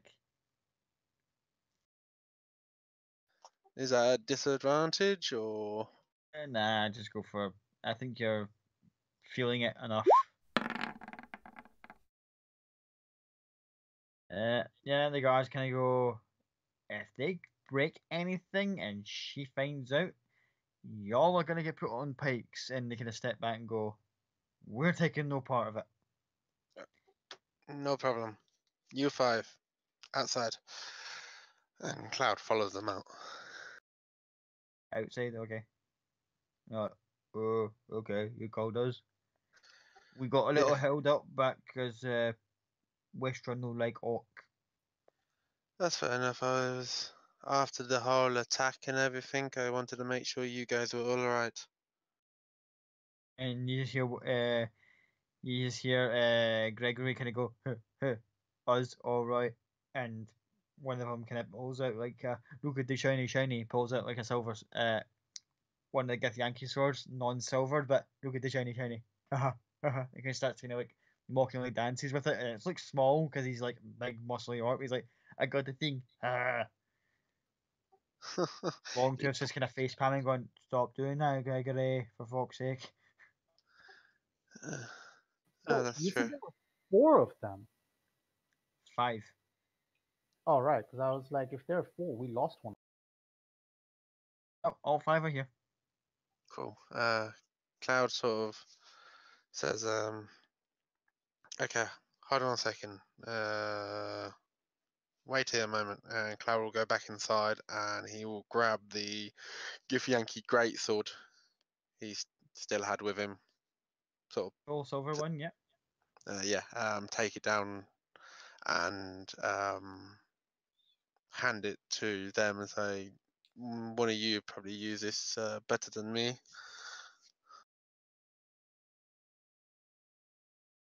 They're just kind of looking as if like, sure you want to hand that over to us? Don't you want it? They all think very, very hard about it and go, well, yeah, but we didn't earn it. This is can't just give a shit, you know, as much as we might like, you know, it's different when things are in the thick of it, when you use certain things and you just hear like uh, Clobber getting surprisingly eloquent into the whole sort of like, yeah, orcs don't do that kind of thing. Uh, if you're going to give us something with, with cool weaponry, you think we need to kind of like, we need to feel like we've earned it. Otherwise, we need to beat you up and take it. That's fair one of the two. Uh, so much as we appreciate the gesture, and uh, at that point, Longtooth sees him a slap in the back and he goes, "All right, enough. You talk too much, too shit, shite, you know." Fair enough. That's your choice. Um, just wanted to make sure you guys are all right. Um, and pretty much, um, I can't remember. It's been a long night. Well, you want us to go deal with anyone? And, uh, Crusher's kind of just doing the thing with cracking his knuckles. Um, Cloud said, one more moment, and he'll go in and see if he can find um like a bit of parchment and some ink and to write a note. Yeah, there's a ink well nearby, and you can. Um, he will write down a little note, um, fold it up, take it out, and say, and put it into Longtooth's hand, and say, um, "Take this," and he will basically direct them to the west gate and out into Ellie's farm, and say, "Be good, behave, and hand this to the Dragonborn lady there." Okay? All kind of confused for a moment, and Longtooth just takes it. She will um she'll understand. It'll be a place for you to stay a bit safer without anybody trying to kill you. You can help her. Be nice, she's my sister and she will kick your ass. And when I if she needs any help, you help her out. And maybe you can teach some of the uh boys how to fight a bit better. Okay? I'll look at one off, kind of confused for a second, and then kind of just dawns on him like, okay. and we will probably need your help in a day or two's time. So I will call you when we need when we're ready to go. We'll be killing some more of those ugly looking fuckers. At that point, Ben Clatter goes like going, "Yeah, more of them yellow skin motherfucker." As he goes to say something, something falls out of his backpack, kind of like it, like a ripped seam at the bottom, and it falls. It's like a, it actually looks like a symbol. And as it hits the ground, it just goes. That's how like a symbol drops in this like clash Oh, the fucking pain running through your ears right now as you're still hungover to fucking just heard this thing just smack to the ground. Uh, You just gonna slowly reach it down and goes, Sorry, cat boss. And puts it back in his bag and kind of does the seam back up. Directions. That way. Just Go, gonna, go. You just gonna point in the direction. He's like, go, fuck off. You've you've got your orders now. Go. Just uh, and they kind of just they all gesture the sort of like blow the horn thing like when you need us and they all just head off. And the guards are just looking at you going, What the actual fuck was all that about? Like genuine sort of like perplexion is the expression they have when the fish is like, What? Hey, not stop judging everything by what they look like. Not all orcs are bad, and well, we kicked their ass, and now they're sort of under our command, sort of. But you know, it's always handy we to have. had that before? Yeah. that was a bit of a messy thing. Anyway, yeah, if you're going to go back inside, Cat Dude, you look like you could use a bit more of the water or a good bit of breakfast. Breakfast. Yeah, Breakfast. yeah, I've heard chefs working and stuff. Go, go. Just make sure you don't, yeah, you, you find the proper box to shit in or whatever, and they can just close the door behind you as you coming back in. He just gets like the middle finger held up over his shoulder towards them when he hears shitting in the box. It's like dick. You walk back in. Inform the others of what all that was about, or do you just keep that to yourself for now? Cloud beelines it for breakfast. He knows a good breakfast solves all hangovers. as clouds running in, you, just hear everyone hears the sort of like ding ding a little handbell goes and he goes, breakfast is served. Uh, before All going dining down, room, I... just- sorry. Opposite side of the study. Uh, I Rebecca, you said something there. Gonna say before going down, I'd like to try and spot where the dog and the mimic are. Uh, Clover's uh, actually at the bottom of the stairs, just looking Toto's face. He's still kind of kicking about downstairs. Bottom of the steps is like, Oh. yeah, it's just twirling the the pearls and face going, yeah, yeah. As he's sitting there, eyes still shut, whilst getting licked by the the the the, the wolf.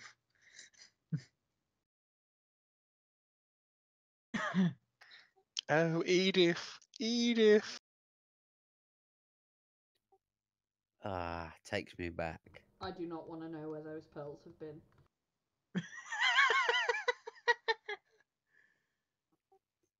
Trust me, I'm not normally the one that comes away with the pearl necklace, but I can't last night as a six. Oh, she was gonna say something so mean, but I can't. Say it. She was gonna say it's the reason they all get pearl necklaces because you finish too quick to actually get inside of them. maybe. I would appreciate it if you kept that to yourself. That's a promise. At one point, is a guard awkwardly trying to keep his mouth shut. And then suddenly lets out with, Well, I'd have thought the only burns you'd have got would have been the friction from just how dry things were, but hey ho. And then this kind of just walks out as if, like, I'm off duty now. Puts his cloak to the side and just goes, like, walks out the house. When he says that, I look at Elspeth and I say, "Little does he know I still had that bottle of Yes. Like, like he's the idiot." Yeah, that's the. It's like he's he was just like he's been dying to say stuff because he noticed you walking up earlier as, like uh, the night before, obviously been on duty, and he's just like, I really want to say something to that little dwarf, but uh, half point bastard, but uh, took his chance and he's like, I'm out. Don't care, and he's away out. But yeah, breakfast is served up for all those who wish to partake. Oh yeah, yeah. I'm gonna need some breakfast. Yeah, I'll go to breakfast too.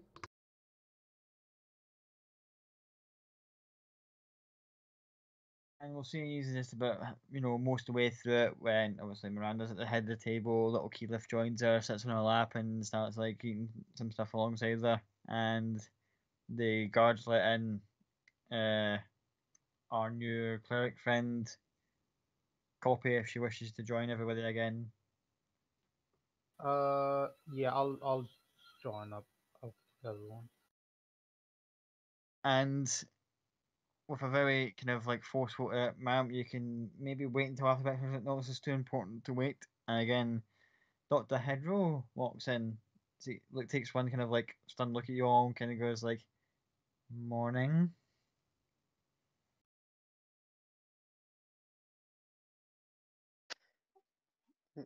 With her mouth half sort of still eating, just like meh. Um. She's kind of trying not try to hide the look of absolute disgust on her face, and like, uh, and she goes, "Look, Doctor, you're you were lovely company and all, but could you maybe just tone it down a little bit?" She's like, "I told you this is too wanting to wait." And you can see the signs of frustration starting to build up, and the kind of disguise still things starting to flicker a little bit.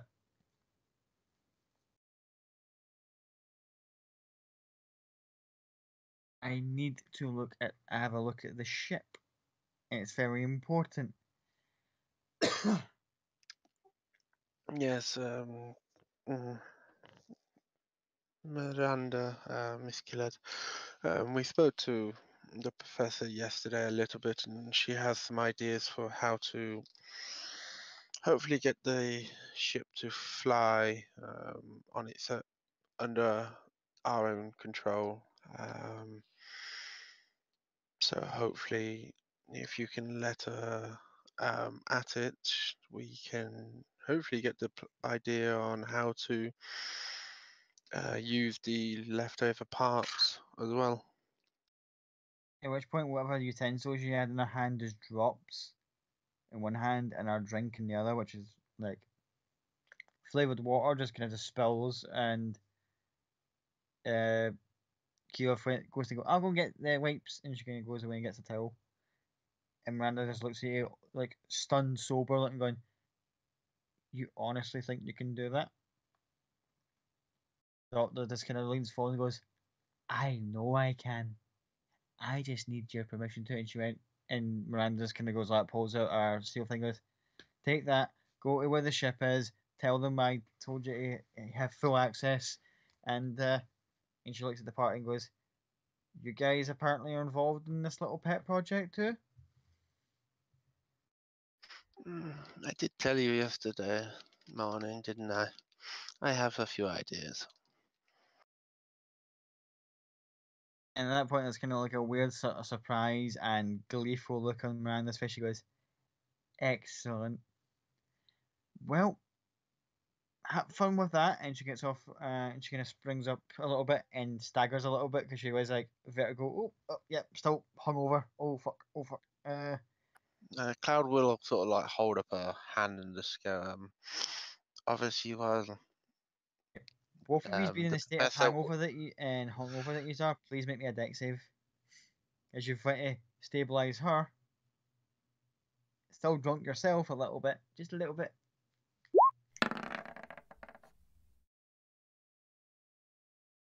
Like Gomez and Morticia thing, she goes to fall over and you just kind of just like zip up and going, ah, got you. and give her a cheeky little wink. And she's just gonna sort of like uh drunken giggles thing and she kind of throws the hair back goes, oh, what's new, pussycat? And she gonna stand up and goes, thank you. puts up and um, just goes. Uh, obviously, as the professor works on the functional one to get it working under our power, if you can, I assume you already have, but if you can have your uh, people collect the parts of any um, damaged or destroyed ones, any useful parts can hopefully come into use to possibly make maybe another one or two if there's enough parts.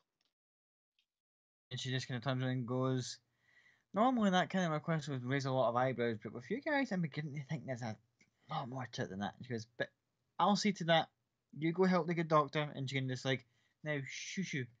Kill off Darling, and she runs off into the other says, like, don't worry about the spell. When they get uh, the house uh, servants will do that. You, you sure, Mummy, I want to help out? Is the last thing you see before the door shuts. The doctor just looks back, sits in a chair and goes,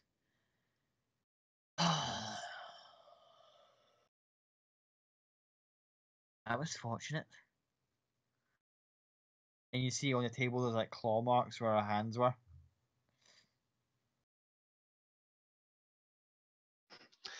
All you had to do was relax.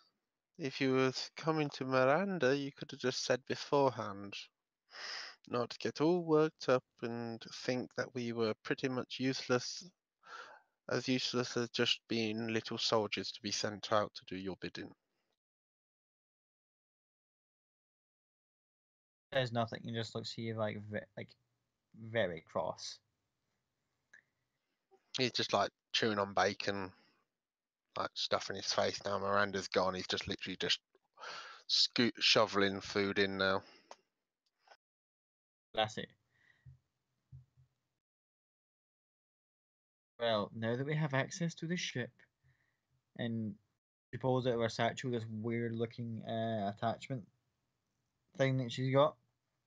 It's a good thing no one's around, and then she looks at the bottom of it. There's like a kind of, to be quite blunt, it looks like a small, like a collection of small, like animal brains inside like a kind of, uh, like a stomach sack attached to like a weird headset. Uh, Sorry to interrupt. Is Alex's character in the room? Yep. Yeah, yep. Okay. goes, attach this to the ship and it can do most of the piloting for you.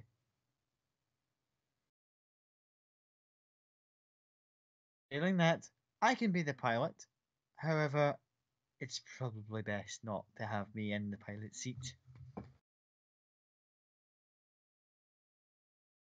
I can be far more useful elsewhere.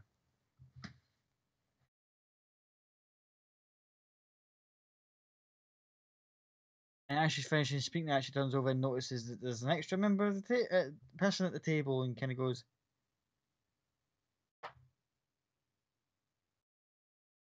"You again?" Yes, it's quite interesting what happens when you just let people speak. At which point she kind of gives a bit uh, very alarmed look at everyone else at the table. Oh, don't- this is a problem. Starts to kind of gingerly walk around the table. It's only a problem if you mean to bring harm to the citizens. If you're planning to protect them, or my guess is using that ship for something like a rescue. Yeah, then I'm not going to sell you out. In fact, I'm happy to help if you're planning to re- rescue the citizens that were taken. Make a persuasion check.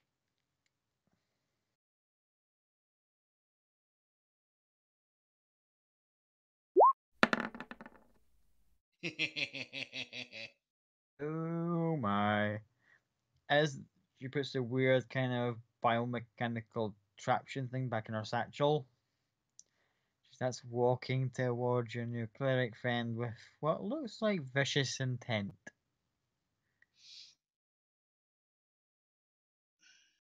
Cloud sort of grabs his breakfast and slides to the other end of the table.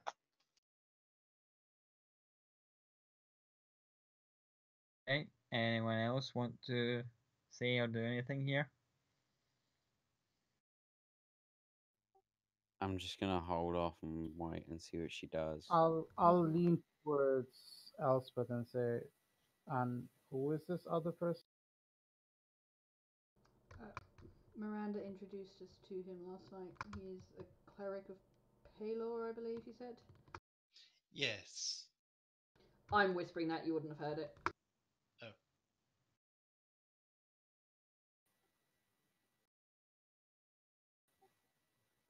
What do you think? Do we need him?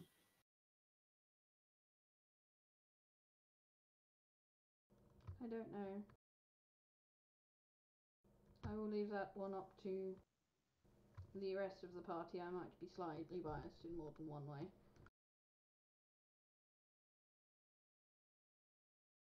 As Dr. Hedro starts to kind of walk with intent towards our new cleric friend, gets to a certain point and starts to, as if she's got a sudden head twitch.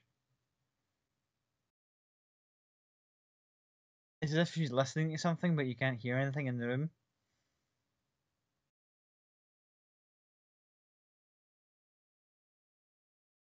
Your offer to help genuine. Of It course. leans in real cl- uncomfortably close, going, and don't lie to me. I'm not lying. I'm just bad with people. That doesn't surprise me. You are an elf. yes. Although not raised with elves, I come from a temple of Pelor.